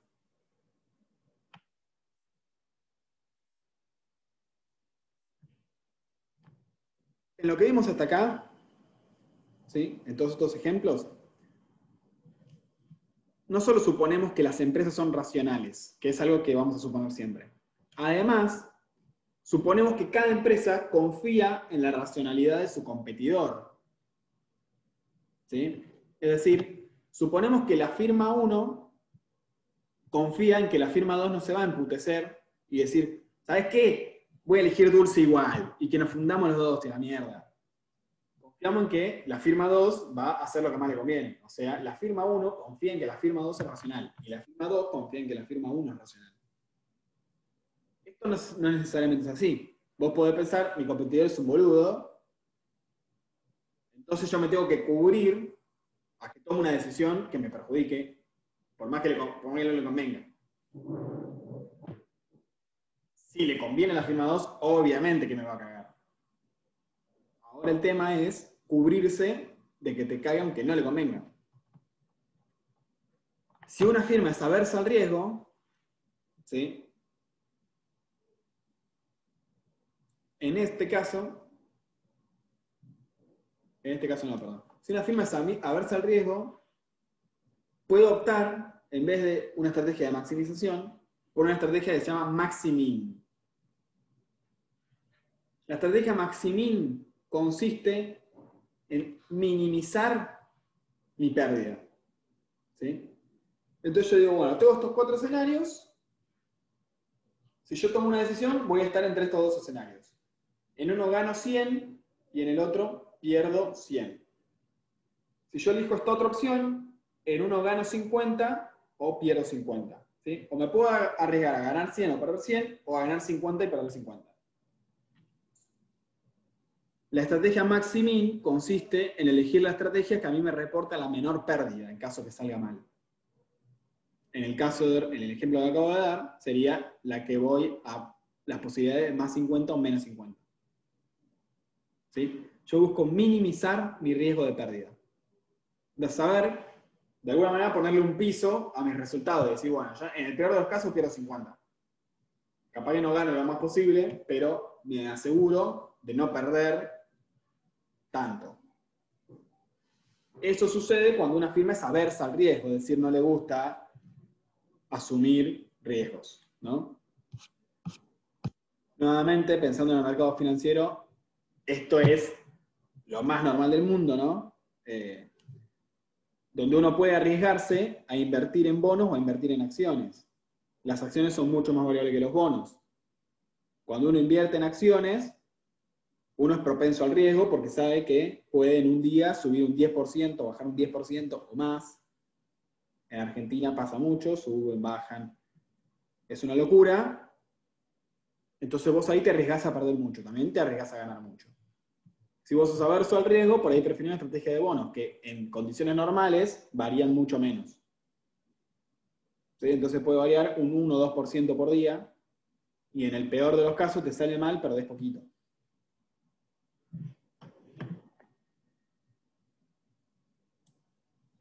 En este caso, cada actor, observa los resultados posibles y los evalúa en función del peor resultado. Elige la estrategia el cual tiene el peor resultado más leve. O sea, elige el máximo peor resultado, el máximo mínimo. Por eso se llama estrategia maxi ¿Sí? El máximo mínimo. Observo todos los mínimos y voy hacia el máximo mínimo. El ejemplo que vamos a utilizar es el ejercicio 3. Hay dos empresas que producen chocolates, pueden elegir producir para el segmento de buena calidad o de mala calidad. Fíjense que este va a ser un ejemplo interesantísimo porque cada vez nos vamos alejando de los ejemplos más sencillos y vamos a ejemplos un poco más complejos. Acá si los dos eligen malo, los dos pierden. Si los dos eligen bueno, los dos ganan un poquito, 50-50. Si la, si la empresa Milky elige bueno y la Forti elige malo, la Milky gana 100 y la Forti gana 800. Y si la Milky elige malo y la Forti elige bueno, la Milky gana 900 Forti gana 600. Como pueden ver, ganan un poquito más y eligen malo. ¿sí? Esto está hecho así en el ejercicio. Puede ser porque el chocolate de mala calidad eh, tiene menos costos, ¿no? Entonces me reporta más ganancias. Todo depende de, cómo está estructurada la demanda. Ah, como en el caso anterior, a ambos les conviene diversificar. ¿Sí? Pero los dos quisieran dedicarse al segmento malo y que el otro se dedique al bueno. Y fíjense que en este caso las ganancias y las pérdidas no son simétricas. O sea, no, no es lo mismo para la empresa Forti o para la empresa Milky un segmento o el otro. La Milky, produciendo malo, gana 900. En la combinación malo-bueno, 900. Y la Forti, en bueno-malo, gana 800. La Forti en malo-bueno gana 600 y la Milky en malo en bueno-malo gana 800. Esto es importante para después analizar el óptimo de Pareto.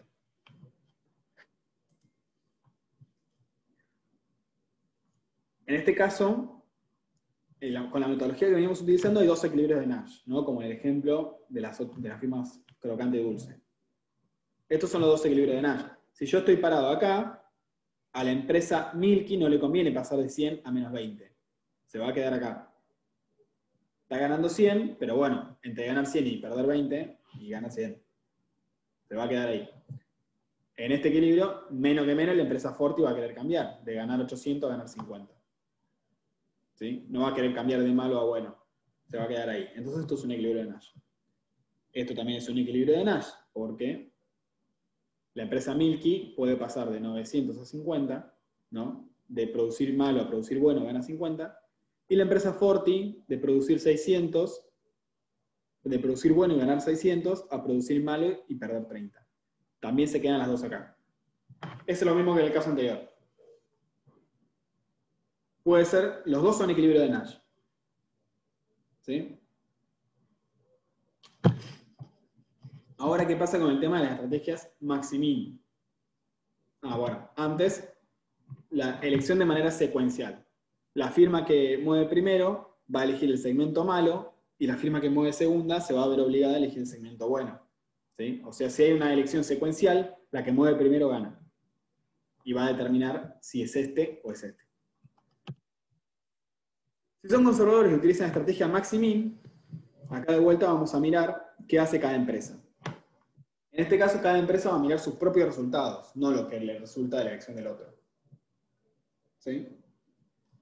Cada empresa mira sus propios resultados, la firma Milky va a observar que si elige malo, puede perder 20 o ganar 900. Si elige bueno, puede ganar 100 o ganar 50.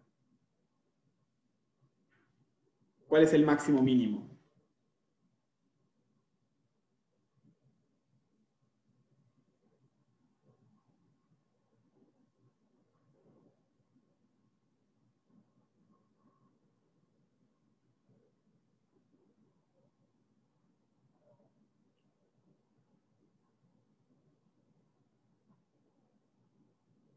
A ver quién cree cuál es el máximo mínimo.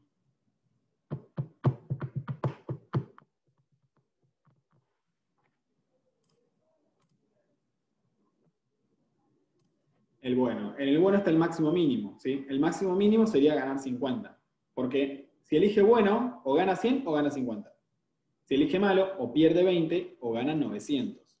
Evidentemente, en un mundo ideal, la firma Milky quisiera ganar 900, pero si es conservadora, si es aversa al riesgo, prefiere asegurarse no tener pérdidas. ¿no? Entonces va a elegir la estrategia bueno, que en el peor de los casos gana y gana 50.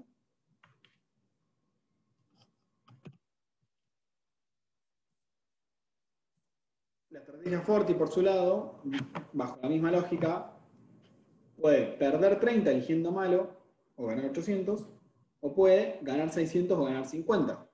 Nuevamente, elegir bueno es su estrategia del máximo mínimo. ¿Sí? Como ambas eligen bueno, el resultado es 50-50. Ambas se dedican al sector bueno, no alcanzan el equilibrio de Nash, no alcanzan el óptimo de Pareto. Ambas ahí van a tener incentivos a cambiar de mercado, pero como son conservadoras, les da miedo. ¿sí? Entonces no lo van a hacer porque dicen, mirá si por cambiar de equilibrio de mercado termino acá, termino perdiendo, no, me aseguro la ganancia, con esto llevo el pan a la mesa. ¿Sí? Fíjense que acá estamos asumiendo un distinto nivel de racionalidad. No es que las empresas no sean racionales. Es que no confían en el otro, no confían en la racionalidad del oponente. Entonces prefieren asegurarse.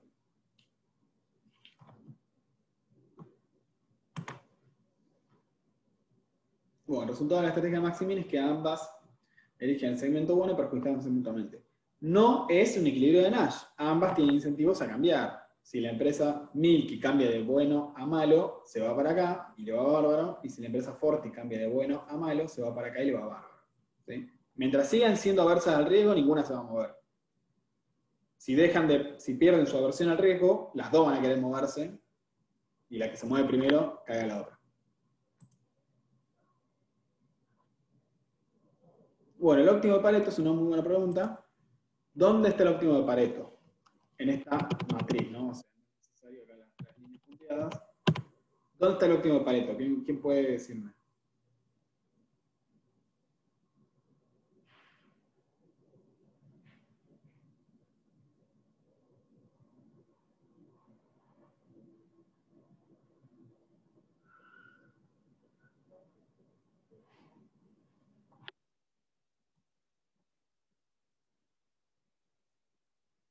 Equilibrio Maximin se llama. Me preguntaba Ramiro si tiene un nombre, un nombre especial de equilibrio, que vimos recién, se llama equilibrio Maximin. Y ahí Antonella dice, el óptimo Pareto está en 900, 600, es correcto. El óptimo Pareto está en 900, 600 porque fíjense que la suma de los beneficios es la máxima que pueden conseguir. ¿Sí? 1500. En esta la suma es una pérdida de 50, en el malo malo. En el bueno bueno la suma es una, es una ganancia de 100, y en el donde Milk elige bueno, el fuerte y malo, es la suma es de 900. No solo para ver el óptimo Pareto, tenemos que ver el conjunto del sistema si está en la, mejor, en la situación posible, y el conjunto del sistema acá obtiene 1500 como óptimo Pareto. Y esto va a ser importante cuando veamos lo siguiente, que es cooperación. ¿sí? Otra posibilidad, en vez de que compitan de forma totalmente racional, o en vez de que compitan de forma conservadora con la estrategia Maximin, es que decidan cooperar. Es decir, se sientan en la empresa Ford, se empiezan a y se sientan en la empresa Milky, y entonces dicen, vamos a ponernos de acuerdo. Cuando se ponen de acuerdo, dicen, ganemos lo mayor para los dos y después distribuyamos. ¿Sí? que esa distribución va a ser una negociación. Entonces, como se ponen de acuerdo para, y quieren obtener lo máximo para los dos, ahí van a ir sí al óptimo de Pareto, que es 900-600. Como en este caso, dada esta matriz que fue construida por, por, la consigna y podría ser distinta, en este caso, el óptimo de Pareto es un equilibrio de Nash, entonces ninguno va a tener incentivo a traicionar. Lo que sí, para que esa cooperación suceda, probablemente la empresa Forti va a decir, che, vos estás ganando 900, yo estoy ganando 600. Veamos si podemos repartir un poco mejor esta torta. Porque si no, yo me enculo y yo produzco malo y te cago la cooperación. Yo quiero ir, yo, yo quiero ir acá, le dice la empresa Forti. Quiero ir a malo bueno. Y la empresa me va a decir, bueno, a ver, ¿cómo podemos arreglar? Y ahí depende del poder de negociación cada uno una posibilidad para asegurarse de que la empresa Forti quiera cooperar, la empresa Milky puede garantizarle el máximo beneficio que obtendría en otro contexto. La empresa Forti podría acá obtener 800 pesos. Acá obtiene 600. Entonces, si la empresa Milky quiere conquistar el corazón de la empresa Forti, le va a decir, mira, te doy los 200 que ganarías, los 200 más que ganarías en el, otro equilibrio en el otro equilibrio de Nash. Te lo doy. Yo gano 700, o sea, estoy bastante mejor que acá. En vez de 100 gano 700. Y te doy a vos 200 para que ganes 800. Y ahí sí que ambas van a estar lo mejor posible. También empresa Ford, esa es una posibilidad. Otra posibilidad es que la empresa Ford te diga, ah, vos podrías estar ganando 100, si, yo, si vos crees que yo coopere, vos podrías estar ganando 100, conformate con ganar 100. Y la empresa Forti podría decirle, vos ganas 100 y el resto dámelo a mí. Si no, yo no coopero. Es, en esa, esa sería una negociación bastante más peluda, ¿no? Y ahí la empresa eh, si aceptara semejante eh, estafa, le tendría que pagar, de los 900 que gana originalmente, le tendría que pagar 800 a la empresa Forti. Otra posibilidad es que la empresa Mickey tenga muchas mejores condiciones de negociación y le diga, bueno, está bien, distribuimos mitad y mitad.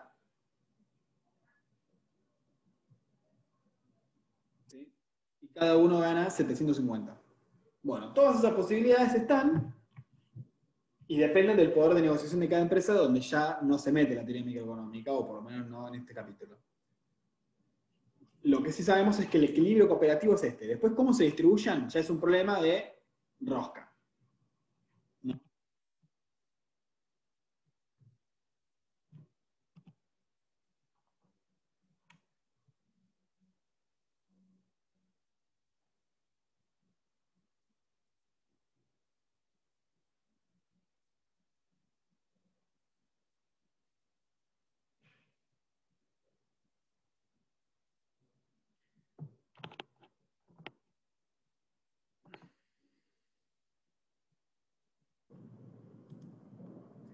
Buena pregunta. Si es legal ponerse de acuerdo, en general no.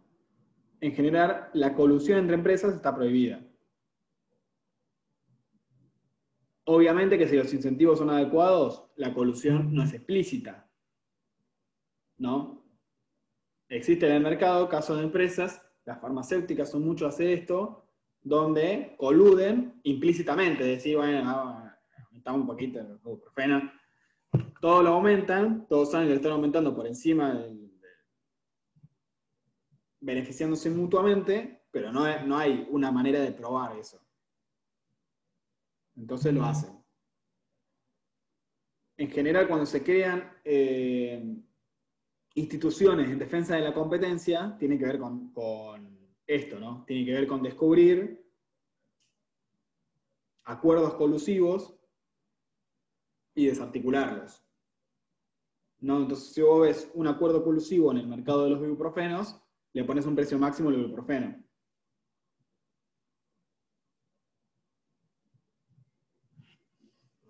Así que acá entra todo lo que es la cuestión de las fallas de mercado y de la regulación del Estado y toda esta discusión. Lo siguiente que vemos es modelos competitivos.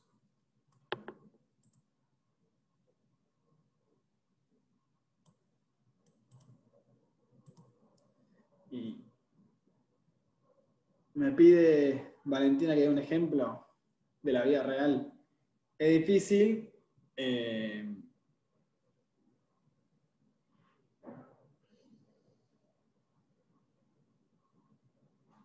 yo diría que muy probablemente todas las grandes cadenas oligopólicas coluden en mayor o menor medida. Es decir, eh, coluden y compiten a la vez, ¿no? Porque se ponen de acuerdo en determinados precios, pero a la vez compiten con promociones y con otro tipo de estrategias para ganar más mercado.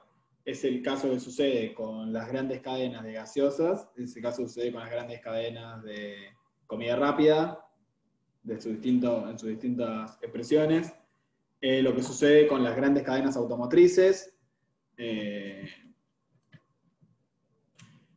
es muy, muy normal. En realidad, casi que diría que en la mayoría de los mercados esta es la regla, no es la excepción. ¿Sí? No son oligopolios puros, porque en general no es, que existen dos empresas nada más, no existe Coca-Cola y Pepsi y nada más. Tenés, eh, qué sé yo, otras empresas de gaseosa de menor tamaño, pero sí son dos o tres o cuatro o cinco o seis empresas las que, las que manejan un mercado. Creo que es eh, legítimo decir que ese es el mecanismo en el que tiende a funcionar el capitalismo. No tiende a funcionar en producto homogéneo y competencia perfecta. Tiende a funcionar en unas pocas empresas oligopólicas y un conjunto de empresas de mediano o baja gama.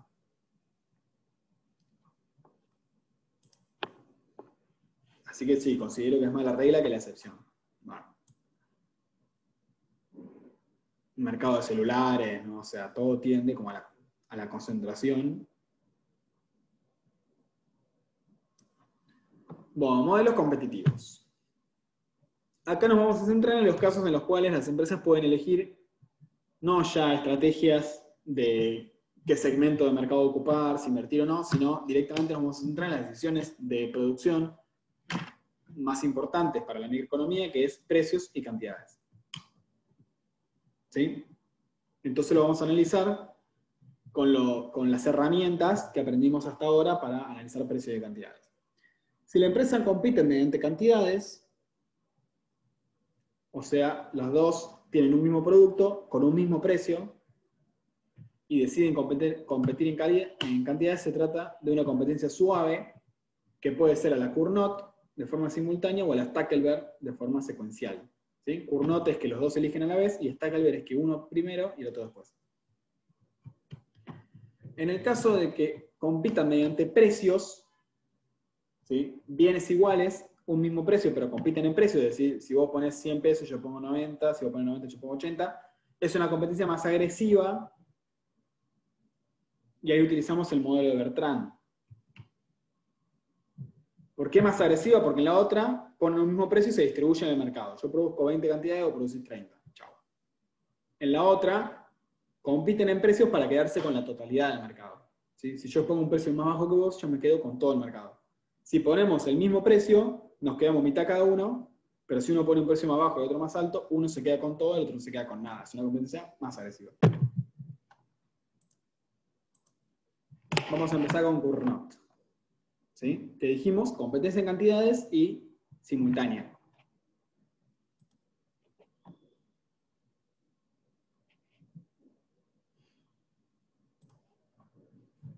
Ahí Rory tira un ejemplo del. Eso del Pindic, Rory.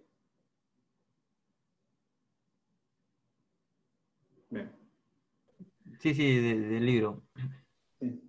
Siguiendo las normas de la teoría de los juegos, en un modelo de Cournot, las empresas observan cuánto desearán producir su competidora para fijar su propio nivel de producción. En la práctica, esto significa incorporar la en la condición de equilibrio de cada firma la reacción que tendrá la otra. ¿Sí? Entonces, cada empresa va a tener una función de reacción, que quiere decir cuánto produzco yo según lo que produzca la otra. La firma 1 va a tener una función de reacción según lo que produzca la firma 2, y la 2 va a tener una función de reacción según lo que produzca la firma 1. El equilibrio va a estar donde ambas funciones de reacción coincidan. Si no coincide, entonces yo produzco 10 y la otra va a producir 20, y si ella produce 20, yo cambio mi producción a 15, y si yo cambio a 15, ella cambia a 5, y así van cambiando la producción de cada una, solamente van a coincidir en el punto donde ambas funciones de reacción coinciden. O sea, ella produce 8, yo produzco 8. Y ella decir, ella produce 8, yo produzco 8. Si los costos son iguales, esa, coincidencia va a ser los dos la misma cantidad. Pero si los costos no son iguales, podría ser que una produce 10 y la otra produce 5. ¿sí?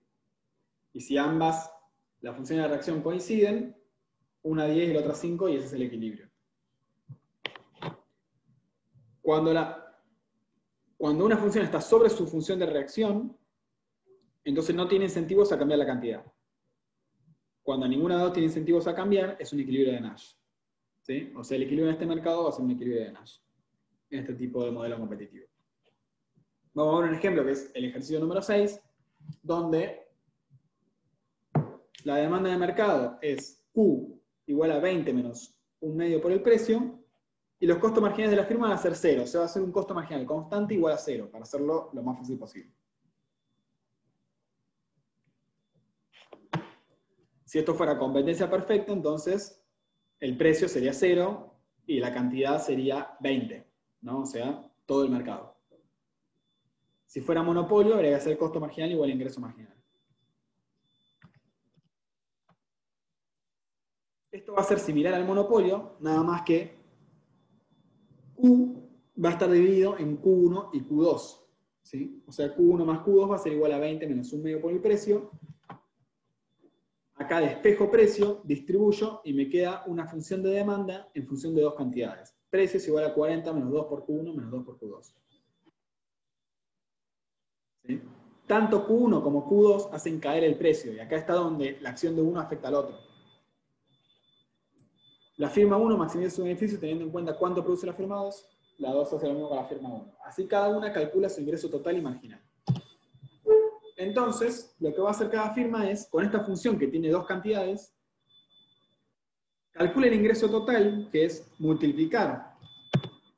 La firma 1 va a multiplicar esta demanda por Q1 y la firma 2 va a multiplicar esta misma demanda por Q2. Para la firma 1 esto queda 40Q1 menos 2Q1 al cuadrado menos 2Q2Q1. ¿sí? O sea, multipliqué cada término por Q1. Y luego voy a encontrar el ingreso marginal de la firma 1, que va a ser la derivada de esta función de acá arriba.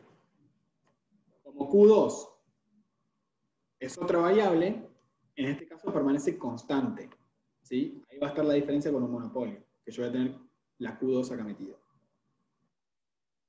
El ingreso marginal me queda 40 menos 4Q1 menos 2Q2.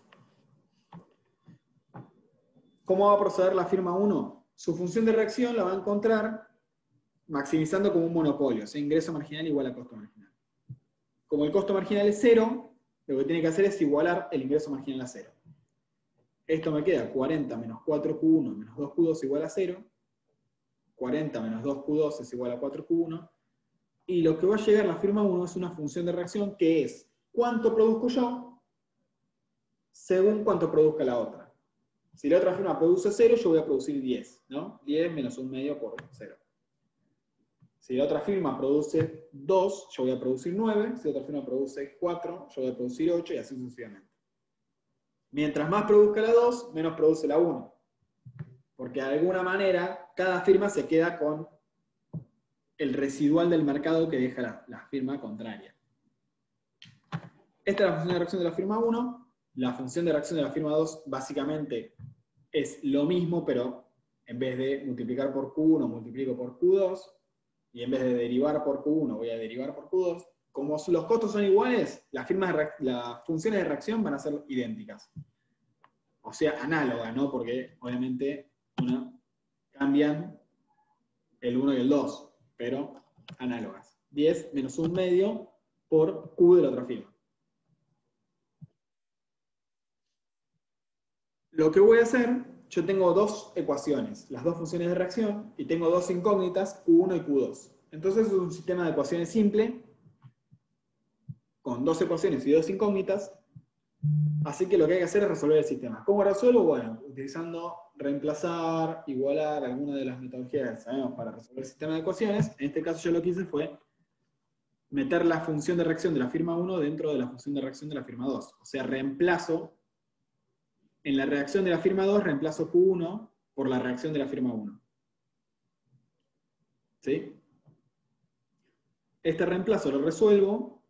Un medio por 10 es igual a 5. Un medio por un medio es igual a un cuarto. Y ahora me queda todo en función de la firma 2, de la cantidad de la firma 2. Resuelvo la cantidad de la firma 2 y me da 6,67. Esto lo reemplazo en la función de reacción de la firma 1, como son iguales, me va a dar la misma cantidad. ¿sí? Como tienen los mismos costos, me da la misma cantidad. Que es 6,67. O sea, cada una va a producir 6,67 unidades. Esto significa que en el total del mercado van a haber 13,33 unidades, la suma de las unidades de la firma 1 y la firma 2. Lo cual me va a situar en un precio de mercado dado por la demanda. La demanda dijimos que era 40 menos 2 por Q1 por Q2, reemplazo, resuelvo y me da que el precio de mercado es 13,3.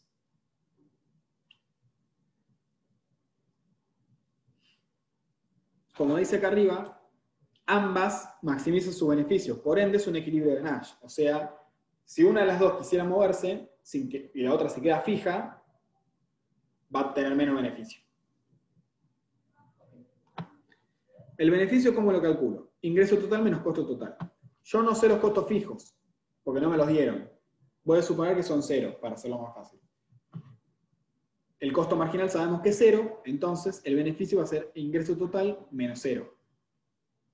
O sea, costos igual a cero, lo más fácil del mundo. El ingreso total es el precio por la cantidad para cada firma, ¿no?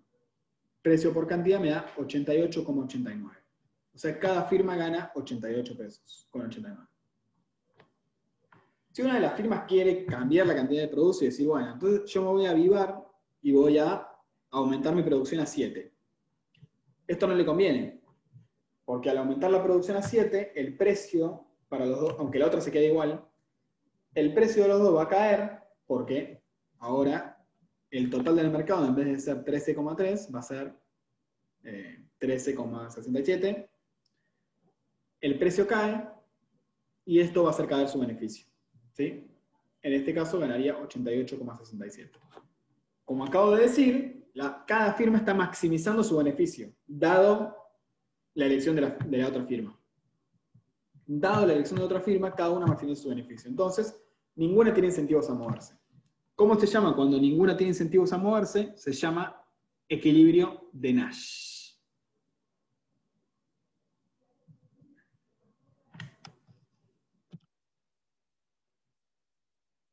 Vamos al siguiente. En el caso de un modelo Stackelberg, a la Stackelberg, acá lo que vamos a ver es el caso de decisión secuencial. ¿sí? Como, como vimos con, los, con teoría de los juegos, acá estamos aplicando lo mismo a la elección de cantidades y precios. En un modelo Stackler, como en el caso del árbol de juego, vos anticipás cómo va a reaccionar la otra. Entonces yo sé que si yo aumento mi producción, la otra la va a disminuir, porque conozco su función de reacción. Esto va a hacer que la que mueva primero, la líder, va a producir determinada cantidad sabiendo cuánto va a producir la otra. Entonces, como vos sabés cuánto va a producir la otra, vos le inducís a producir un poco menos y de esa manera ganás mayor mercado y tenés mayores beneficios. O sea, en este caso, la que mueve primero va a ganar más y la que mueve segunda va a ganar menos. Matemáticamente, ¿cómo se resuelve? En el ingreso total, cuando la firma 1 maximiza su ingreso total, en vez de considerar Q2, desde ese momento ya vas a ver la reacción de la firma 2. Entonces, en el ingreso total, antes lo, antes lo metía en su función de reacción. Ahora lo va a meter en el ingreso total la función de reacción de la firma 2. ¿Sí? Antes de derivar el ingreso marginal. Con lo cual, el ingreso total va a quedar todo en función de la firma 1. ¿Sí? Ya no es ingreso total en función de Q1 y Q2. Ahora está todo en función de Q1. Esto me va a sacar otro ingreso marginal distinto que antes, 20 menos 2Q1. Lo voy a igualar a costo marginal. El costo marginal es igual a 0. Resuelvo, 20 igual a 2Q1. Paso dividiendo. La cantidad de la firma 1 en este caso me da 10. Fíjense que produce más que en el caso de Cournot, donde no podía anticipar el movimiento de la otra. La firma 2, pobre, lo único que puede hacer es hacerle caso a su función de reacción. ¿Sí? Dada la función de reacción de la firma 2, como la firma 1 produce 10, la firma 2 va a producir 10 menos un medio por 10, que es igual a 5. O sea, en este caso la firma 2, al ser seguidora, como va a tener que producir después, va a producir menos. Fíjense que en este caso la firma 1 no está en su función de reacción. No está reaccionando a los 5 que produce la firma 2. Sino como se anticipa, la firma 1 no reacciona, la firma 1 lidera. Y la firma 2 es la que reacciona y por eso salen perjudicadas. En este caso el precio va a ser más bajo, ¿sí? La cantidad total producida es más alta, 10 y 5, el total es 15. El precio va a ser más bajo, el beneficio de la firma 1, fíjense, va a ser precio 10 por cantidad igual a 10 es igual a 100, y el beneficio de la firma 2, explotada. Precio 10, cantidad igual a 5, el beneficio de la firma 2 es 50. O sea, antes ganaba 88,89 cada una y ahora gana 100 la firma 1 y 50 la firma 2. Como vemos, bajo el modelo eh, secuencial, o sea, secuencial quiere decir una secuencia donde primero pasa una cosa y después pasa otra, en el modelo secuencial, la firma que mueve primero tiene ventaja. La posición de ventaja de la firma 1 implica que se haga con mayor porción del mercado y por ende más beneficios. Esta, sin embargo, no tiene incentivos a cambiar su nivel de producción, porque obtendría menos beneficios. Es decir, que este es otro equilibrio de Nash. ¿Sí? La firma 1 no tiene incentivos a cambiarse y la firma 2 tampoco.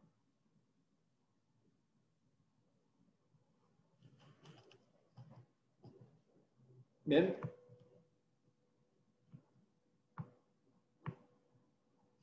la firma 1, ¿por qué no tiene sentido cambiarse? Porque sabe si se cambiara, la firma 2 también se va a cambiar, porque anticipa su jugada. No es como antes que consideraba que la firma 2 se va a mantener quieta. Entonces, a ninguno de los le conviene, dada la elección secuencial.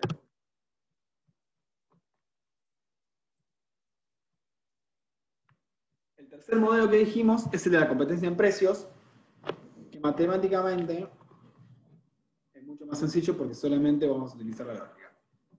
En este caso, cada empresa va a buscar fijar un precio más bajo de su competidor para quedarse con la totalidad del mercado. El problema es, ¿cuál es el menor precio que puede fijar una empresa para asegurarse de su competidor no la desplace? La respuesta a esta pregunta da lugar a la paradoja de Bertrand. En este caso, cada empresa fija su precio en función de quedarse con la totalidad del mercado. ¿Sí? Entonces, si yo pienso que la otra va, a poner un precio de 15, yo voy a poner un precio de 14. El problema es que si yo pongo un precio de 14 y la otra pone un precio de 13, yo pierdo todo. Voy a tener cero beneficio. Entonces, por la duda, pongo un precio de 12.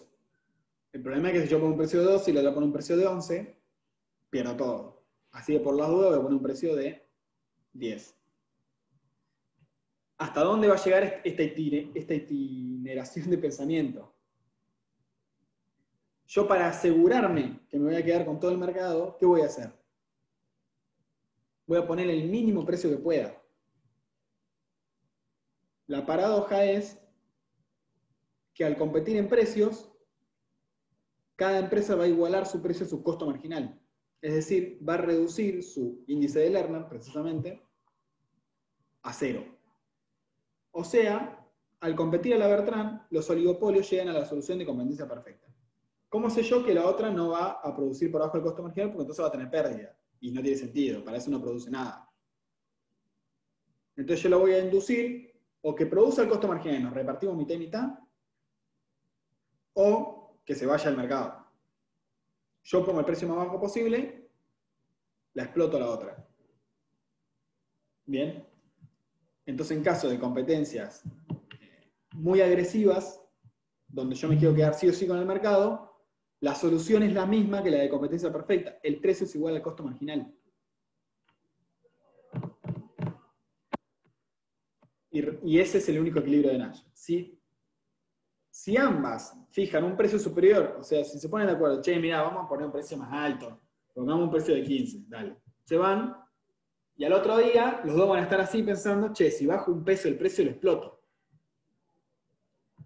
Entonces van a tener incentivos, ambos van a tener incentivos a bajar el precio y por ende no es un equilibrio de Nash. El único equilibrio de Nash va a ser donde los dos están en el costo marginal. Ninguno tiene incentivos a bajar el precio. Ni a subirlo, porque si lo suben pierden todo el mercado.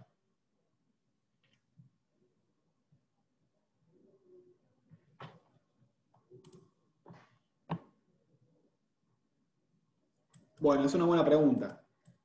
Si las dos tienen el mismo costo marginal, que es el caso que estamos diciendo, entonces van a poner las dos el mismo precio y se van a repartir el mercado mitad y mitad.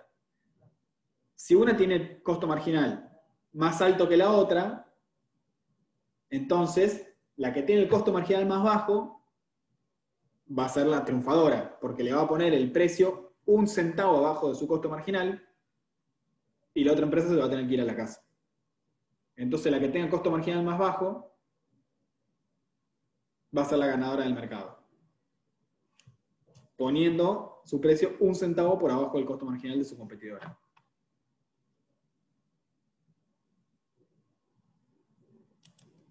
Bien.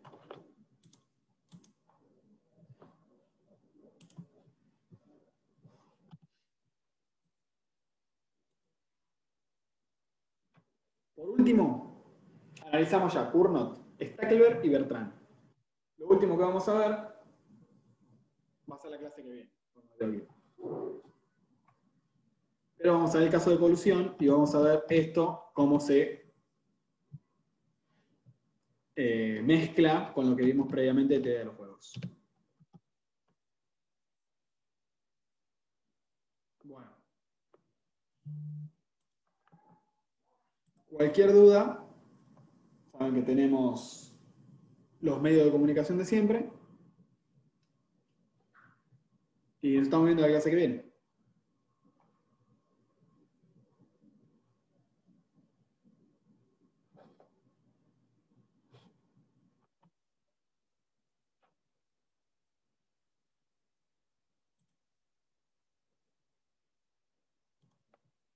Hasta luego. Chao, nos vemos. Nos vemos.